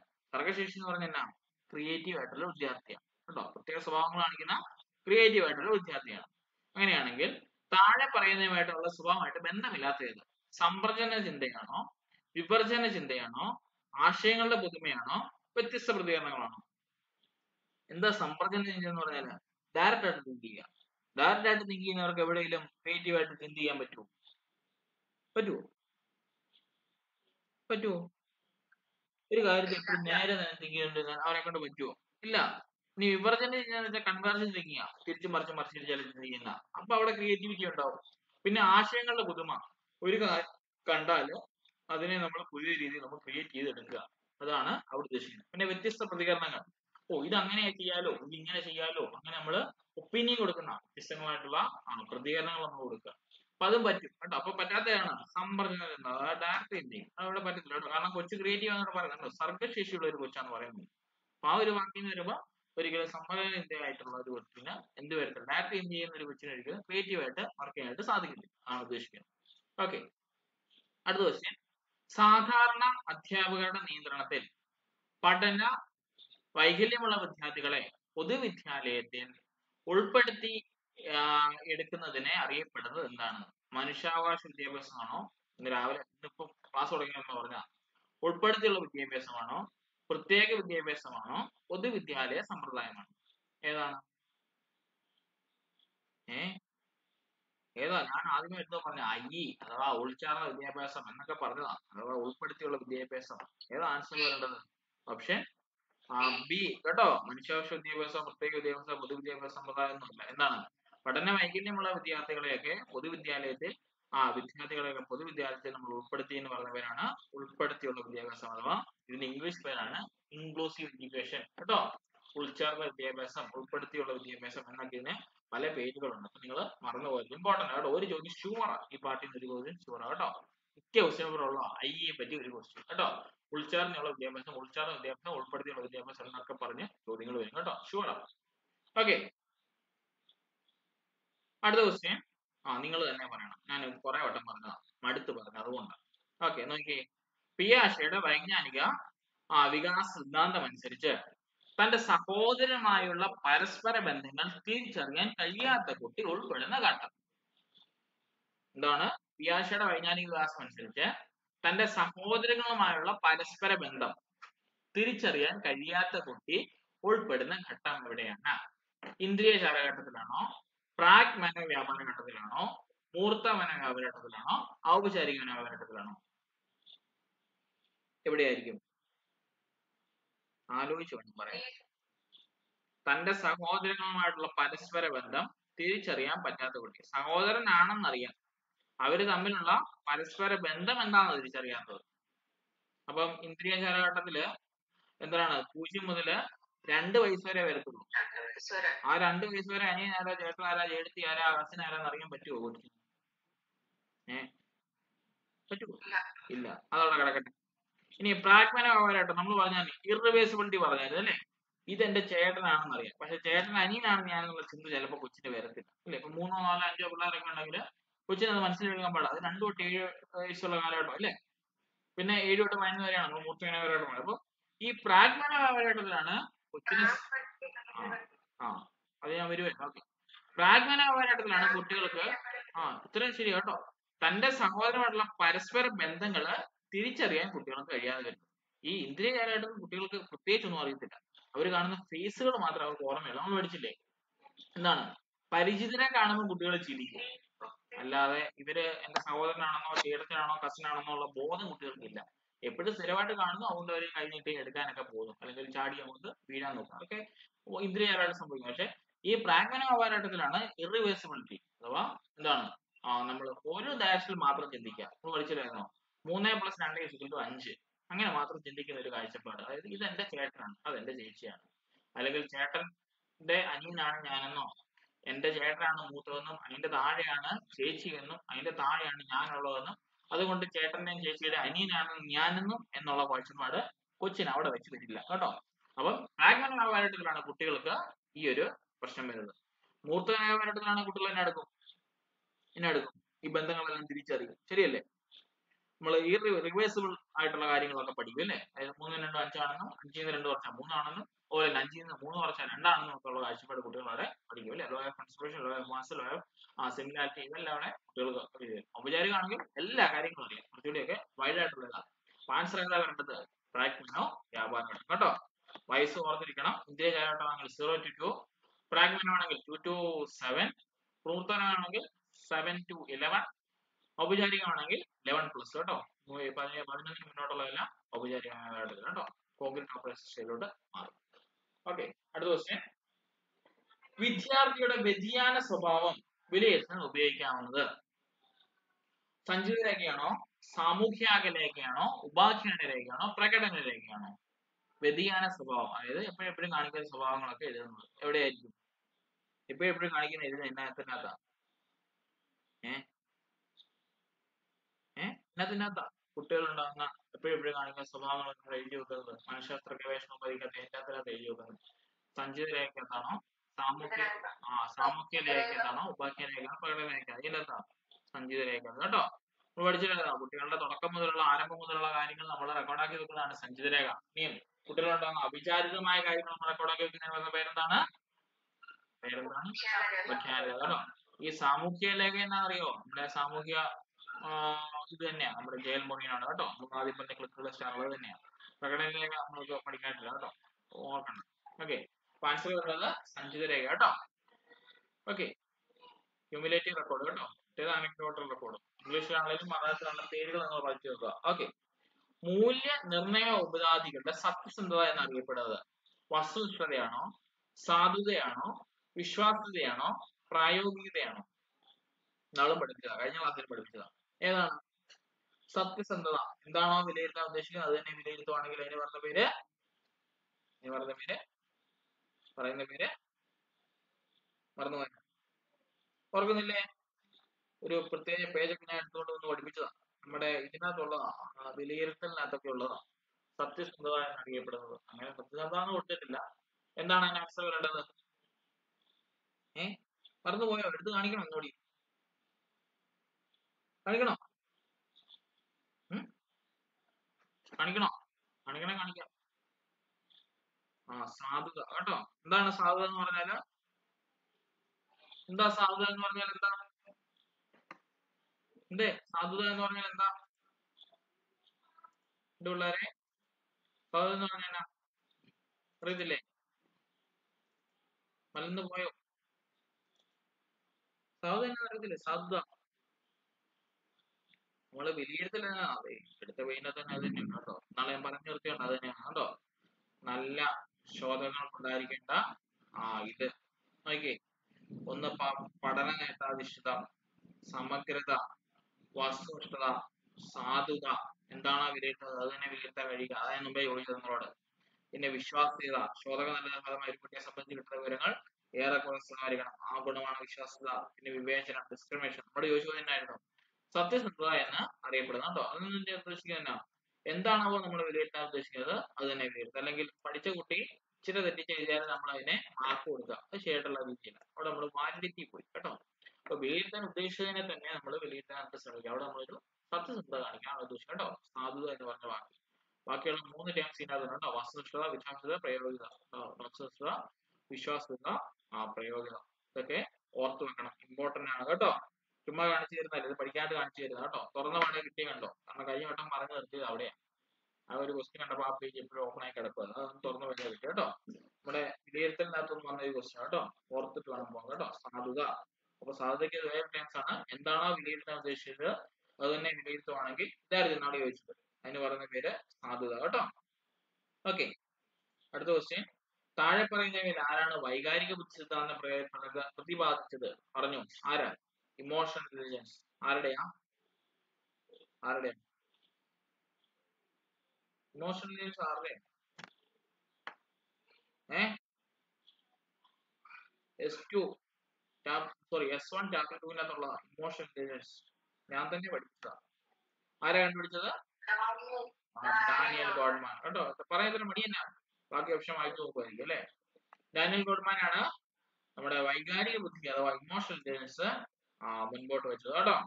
ഇനി ഗാർഡൻ അറിയാലോ? എപ്പോഴും ക്വസ്റ്റ്യൻ പേപ്പർ ഉള്ള ഒരു വ്യക്തിയാണ് എം ഐ മൾട്ടിപ്പിൾ അഥവാ നമ്മൾ പഠിച്ച എന്താ കണ്ട ബഹുമുഖ ബുദ്ധി. കേട്ടോ ബഹുമുഖ ബുദ്ധികൾ കണ്ടെത്തിയ വിജ്ഞാതാണ് എബ്രഹാം മാസ്ലോ ആരാന്നറിയാലോ? ആരാ? Abraham Maslow. എന്തിന്റെ ശ്രേണി കണ്ടുപിടിച്ചതാ ആ ഓക്കെ. ആവശ്യങ്ങളുടെ ശ്രേണി. ശ്രേണി എന്ന് പറയാമോ ആ അതെ അടുത്ത ക്വസ്റ്റിനകത്തോട്ട് അബ്രഹാം മാസ്റ്ററുടെ ക്വസ്റ്റ്യൻ ആയിരുന്നു. അപ്പൊ ശ്രേണി എന്ന് പറഞ്ഞു. ശ്രേണി എന്നാ? ഏ? ശാരീരിക ആവശ്യങ്ങൾ സ്നേഹിക്കുക സ്നേഹിക്കപ്പെടുക ആദരിക്കുക സുരക്ഷ ആ.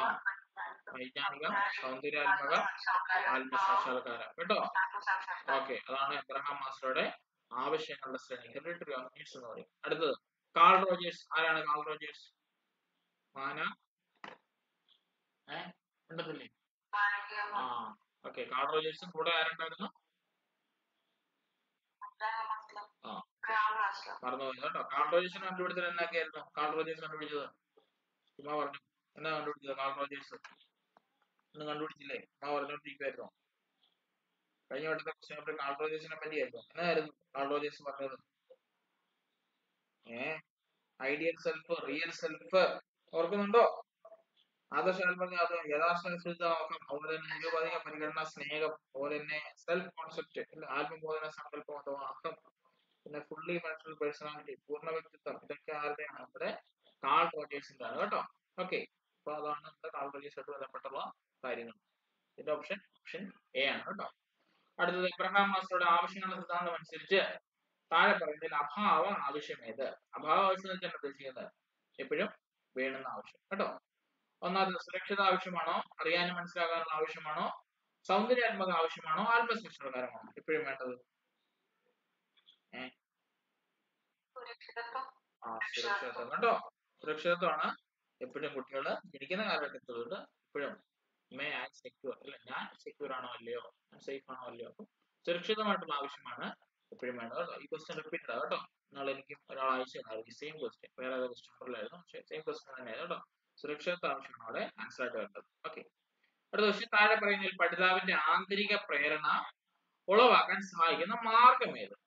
ആന്തരികമായിട്ടുള്ള പ്രേരണ ഉളവാക്കാനായിട്ടുള്ള മാർഗം ആലോചിക്കുന്നത് പഠിതാവിന്റെ ലക്ഷ്യം തിരിച്ചറിയാൻ സഹായിക്കുക പാരിതോഷികങ്ങൾ നൽകുക കുട്ടികളെ അച്ചടക്കത്തോടെ ഇരുത്തുക പരസ്പര അധ്യാപനം പ്രോത്സാഹിപ്പിക്കുക. ഏതായിരിക്കും? പഠിതാവിന്റെ ആന്തരിക പ്രേരണ അല്ലെങ്കിൽ സ്വയമേ തോന്നണം. അതിന് കുട്ടികളെ സഹായിക്കുന്ന ഏതാണ്? പഠിതാവിന്റെ ലക്ഷ്യം തിരിച്ചറിയാൻ സഹായിക്കുന്നതാണോ? പാരിതോഷികങ്ങൾ എപ്പോഴും പോയി സമ്മാനങ്ങൾ കൊടുക്കുന്നതാണോ? കുട്ടികളെ അച്ചടക്കത്തോടെ ഇരുന്നാണോ ഇരിക്കട അവിടെ എന്നിട്ട് ഞാൻ ആടെ വരെ നിന്നടിക്കും അങ്ങനെ പറയുന്നതാണോ? അതോ പരസ്പര അധ്യാപനം പ്രോത്സാഹിപ്പിക്കുകയാണോ? കുട്ടികളോട് നമ്മളത് നല്ല അധ്യാപനം പ്രോത്സാഹിപ്പിക്കുകയാണ് നല്ലത്? ആന്തരിക പ്രേരണ ഉളവാക്കാനായിട്ട്. എന്തായിരിക്കും ഏറ്റവും കൂടുതൽ നല്ലത് കൂട്ടത്തിൽ? ആ വെരി ഗുഡ് ലക്ഷ്യം തിരിച്ചറിയാൻ സഹായിക്കും അല്ലേ? എടാ നിന്നെ കൊണ്ട് ഇത് പറ്റൂ. നീ ഒരു കാര്യം ചെയ്യും. നീ ഡോക്ടർ ആകുമ്പോൾ നീ എഞ്ചിനീയർ ആകുമ്പോൾ നിനക്ക് അതിനുള്ള കേപ്പബിലിറ്റി ഉണ്ട് കഴിവുണ്ട്. അങ്ങനെ കൊച്ചിനെ ഒരു ലക്ഷ്യത്തിലേക്ക് നിനക്ക് ടീച്ചറാൻ പറ്റൂടാ കാരണം നീ എല്ലാവർക്കും പറഞ്ഞു കൊടുക്കുന്നതല്ലേ? നിനക്ക് നല്ല എന്താണ് നല്ല രീതിയിലുള്ള ഈ പറഞ്ഞു കൊടുക്കാനായിട്ടുള്ള എന്താണ് ഒരു കഴിവ് നിനക്കുണ്ട്. ഇപ്പൊ നമുക്കറിയാൻ പറ്റും. നമ്മുടെ മനസ്സിൽ എല്ലാ കാര്യങ്ങളും ഇരുന്നാൽ നമുക്ക് ചിലർക്കൊക്കെ അത് പുറത്തോട്ട് എങ്ങനെ പ്രകടിപ്പിക്കേണ്ടതെന്ന് അറിയത്തില്ല. അല്ലേ? ഇപ്പൊ ചില കോൺസെപ്റ്റുകൾ എന്നാ നന്നായിട്ട് അറിയാവുന്ന ആളാണെങ്കിലും ചിലതൊക്കെ മനസ്സിൽ നിന്ന് പുറത്തോട്ട് വരത്തില്ല. നമ്മൾ ക്ലാസ് എടുക്കാൻ കയറുമ്പോൾ നമുക്കറിയാം. നമുക്ക് ചിലപ്പോഴൊക്കെ നമ്മൾ വിയർപ്പ് കിട്ടും അല്ലേ? കാരണം നമുക്ക് നമ്മുടെ മനസ്സിലുണ്ട് സംഭവം പക്ഷെ എങ്ങനെ അത് പറഞ്ഞ് മനസ്സിലാക്കണം ഒരു കോൺസെപ്റ്റ് നമ്മുടെ വരുന്നില്ല അപ്പൊ നമ്മൾ അങ്ങനെയൊക്കെ കാണുമ്പോൾ നമ്മൾ പറയാം എടാ നിന്നെ കൊണ്ട് അത് പറ്റൂടാ. നിന്നെ കൊണ്ട് ടീച്ചറാൻ പറ്റും നിനക്ക് നല്ല രീതിയിലുള്ള എക്സാമ്പിൾ ഒക്കെ എടുത്ത് ഇമ്പ്രൂവ് ചെയ്യുന്നുണ്ടല്ലോ. അപ്പൊ അങ്ങനെ വരുമ്പോൾ നമ്മൾ പഠിതാവിന്റെ അല്ലെങ്കിൽ നമ്മുടെ ലേനറുടെ ലക്ഷ്യം നമ്മൾ തിരിച്ചറിയാനായിട്ട് സഹായിക്കണം അതുവഴി അവനുള്ള ആന്തരിക പ്രേരണ നമ്മൾ ഉളവാക്കണം. കേട്ടോ? അത് നമ്മളിവിടെ ചെയ്യേണ്ടത്. പരിദോഷങ്ങൾ നൽകിയിട്ട് വലിയ കാര്യങ്ങളൊന്നും ചെയ്യേണ്ട കേട്ടോ? എപ്പോഴും സമ്മാനങ്ങൾ വാങ്ങിച്ചു കയ്യിൽ കാശ് കൊടുക്കുക വേറെ പരിപാടി ഒന്നുമില്ല കേട്ടോ? ഓക്കെ ആ പരീക്ഷയിൽ പരാജയപ്പെട്ട അരുൺ ചോദ്യ പേപ്പറിനെ കുറിച്ച് പരാതിപ്പെടുന്നു താഴെ പറയുന്നവയിൽ ഏത് പ്രതിരോധ ബന്ധമാണ് ഇവിടെ ഉപയോഗിക്കുന്നത്? ഏതായിരിക്കും? ഓപ്ഷൻ കാണാതെ പറയാമോ? പരീക്ഷയിൽ അരുൺ എന്ന് പറഞ്ഞ കുറിച്ച് പരാതിപ്പെട്ടു പരാതിപ്പെട്ടു ഞാൻ പറയാണ് എന്റെ കുഴപ്പമൊന്നുമല്ല ക്വസ്റ്റ് പേപ്പറിന് കുഴപ്പമാണ് ഞാൻ എല്ലാം പഠിച്ചിട്ട് പോയാ പക്ഷെ ക്വസ്റ്റ് പേപ്പറിന് കുഴപ്പം കൊണ്ടാണ് ഞാൻ തോറ്റു പോയത് അങ്ങനെ പറയുകയാണെങ്കിൽ എന്ത് മലയാടാ എന്ത് മലയാടാ ഏ? അനുപൂരണമാണോ? അനുപൂരണം എന്ന് പറഞ്ഞാൽ ഏത് പ്രക്ഷേപണ രീതിയാണ് ചോദിച്ചത്? അല്ലെങ്കിൽ ഏത് ഡിഫൻസീവ് മെക്കാനിസം ആണ് ചോദിച്ചത്? ഏതാണ്? പ്രതിരോധം കേട്ടോ? ഏത് പ്രതിരോധം ഉദ്ദേശിക്കുന്നത്? വിസ്ഥാപനമാണോ? പ്രതിപൂർത്തീകരണമാണോ? പ്രക്ഷേപണമാണോ? താതാത്മകമാണോ ഏതാണ്? ഏതാ? ആ പ്രക്ഷേപണ രീതി. കേട്ടോ? പ്രൊജക്റ്റീവ് മെത്തേഡ് എന്ന് പറഞ്ഞാൽ ആ തന്റെ തെറ്റുകളുടെയും കുറ്റങ്ങളുടെയും ഒക്കെ കാരണം മറ്റൊരു വ്യക്തിയാണെന്നോ അല്ലെങ്കിൽ മറ്റൊരു കാരണമാണെന്നോ ആ സ്വയം കുറ്റപ്പെടുത്താതെ മറ്റൊരു വ്യക്തിയെ നമ്മൾ ആരോപിക്കുന്ന പേരാണ് പ്രക്ഷേപണ രീതി അഥവാ പ്രൊജക്റ്റീവ് മെത്തേഡ് എന്ന് പറയുന്നത് കേട്ടോ? പ്രക്ഷേപണമാണ് ആൻസർ ആയിട്ട് വരുന്നത് അവിടെ എന്താ സംഭവിച്ചത്? പരീക്ഷയ്ക്ക് തോറ്റു. തോറ്റതിന് കാരണം ഞാൻ പഠിക്കാത്തതൊന്നുമില്ല ക്വസ്റ്റ്യൻ പേപ്പറിന്റെ കുഴപ്പം. ക്വസ്റ്റ്യൻ പേപ്പർ വെള്ള കളറിലായിരുന്നു മഞ്ഞ കളറിലായിരുന്നു പ്രിന്റിങ് ശരിയല്ലായിരുന്നു. ക്വസ്റ്റ്യൻ ഭയങ്കര പാടുണ്ടായിരുന്നു. ഞാൻ പഠിക്കാത്ത എല്ലാ കാര്യങ്ങളും അതിനകത്ത് വന്ന് ഞാൻ പഠിച്ചു വന്നില്ല അങ്ങനെ നമ്മൾ സ്ഥിരമായിട്ട് നമ്മൾ പരാതി പറയുകയാണെങ്കിൽ തന്റെ കുറവുകളുടെയൊക്കെ പരിമിതികൾ മറ്റൊരു കാരണത്തിൽ നമ്മൾ ഫൈൻ ചെയ്യുക അങ്ങനെ പറഞ്ഞ പേരാണ് നിക്ഷേപണ രീതി കേട്ടോ? അപ്പം ഈ ഡിഫൻസ് മെക്കാനിസം ഇമ്പോർട്ടന്റ് ആണ്. പഠിക്കണം കേട്ടോ. പ്രതിരോധ തന്ത്രങ്ങൾ ഇമ്പോർട്ടന്റ് ആണ് പഠിച്ചിട്ടേ പോകുള്ളൂ ഓക്കെ അടുത്ത ക്വസ്റ്റ്യൻ ഗുരുതരമായി ലഹരി ഉപയോഗത്തിന് അടിമപ്പെട്ട ഒരു വിദ്യാർത്ഥിയെ കൈകാര്യം ചെയ്യുന്നതിന് ഏറ്റവും അനുയോജ്യമായിട്ടുള്ള രീതി ഏതാണ്? കേട്ടോ ഗുരുതരമായിട്ടുള്ള ലഹരി ഉപയോഗം കേട്ടോ ഓക്കെ. കൗമാര കൗൺസിലിംഗ് നിർദ്ദേശിക്കുക. രക്ഷിതാക്കളെ വിവരം അറിയിച്ച് ലഹരി വിമുക്ത കേന്ദ്രത്തിലേക്ക് അറിയിക്കുക. സ്കൂളിൽ നിന്നും അടിയന്തരമായി പുറത്താക്കുക. ചൈൽഡ് ലൈൻ കീർത്തനത്തിൽ കായിക്കുക എവിടെയാണ് കിട്ടേണ്ടത്? ഗുരുതരമായ ആ ലഹരിയാണ്. ഏ? എവിടെയാ വേണ്ടത് ഗുരുതരമായിട്ടുള്ള ഈ കൗമാര കൗൺസിലിംഗ് പ്രവേശിക്കാം നോക്കിയേ ഈ കൗമാര്യ കൗൺസിലിംഗ് എന്ന് പറഞ്ഞാൽ ഈ ലഹരി ഉപയോഗത്തിന്റെ ഒക്കെ തുടക്കത്തിലാണെങ്കിൽ അത് പറ്റും. പക്ഷെ ഇവിടെ വന്ന എന്താണ്? ഗുരുതരമായ പ്രശ്നം വഷളായി.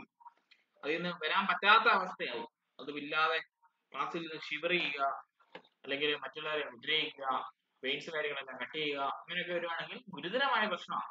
അപ്പൊ അങ്ങനെ വരുവാണെങ്കിൽ അവിടെ കൗൺസിലിംഗ് കൊണ്ടൊന്നും യാതൊരു ഗുണവുമില്ല. എന്ത് ചെയ്യണം? രക്ഷിതാക്കളെ നമ്മൾ വിവരം അറിയിച്ചുകൊണ്ട് ലഹരി വിമുക്ത കേന്ദ്രത്തിലേക്ക് അയക്കാൻ ശ്രമിക്കാം അവിടെ വെച്ച് നല്ല ട്രീറ്റ്മെന്റ് കൊടുക്കുക അതാണ് നമ്മൾ ചെയ്യേണ്ടത്.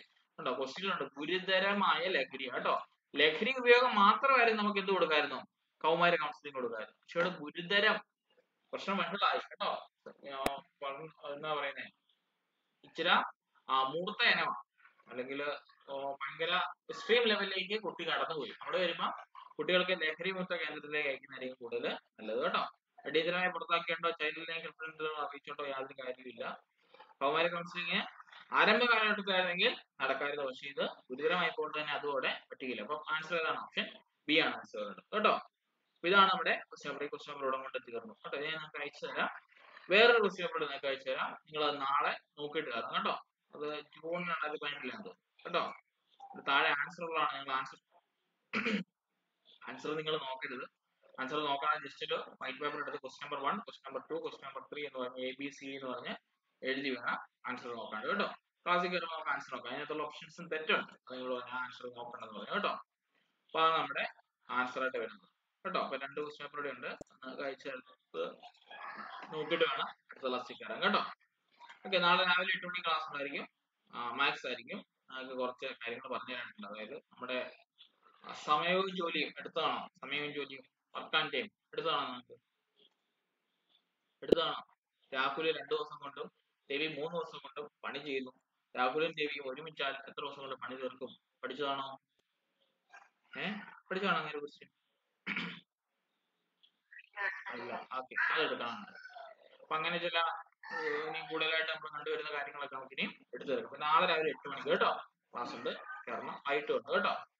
യെസ് അപ്പൊ താങ്ക് യു പിന്നെ സമയം മാക്സിമത്തിൽ നമ്മളിരുന്ന് പഠിക്കുക കേട്ടോ. സമയം കളയാനില്ല. മാക്സിമം പഠിക്കുക കേട്ടോ. യെസ് താങ്ക് യു കേട്ടോ. Thank you thank you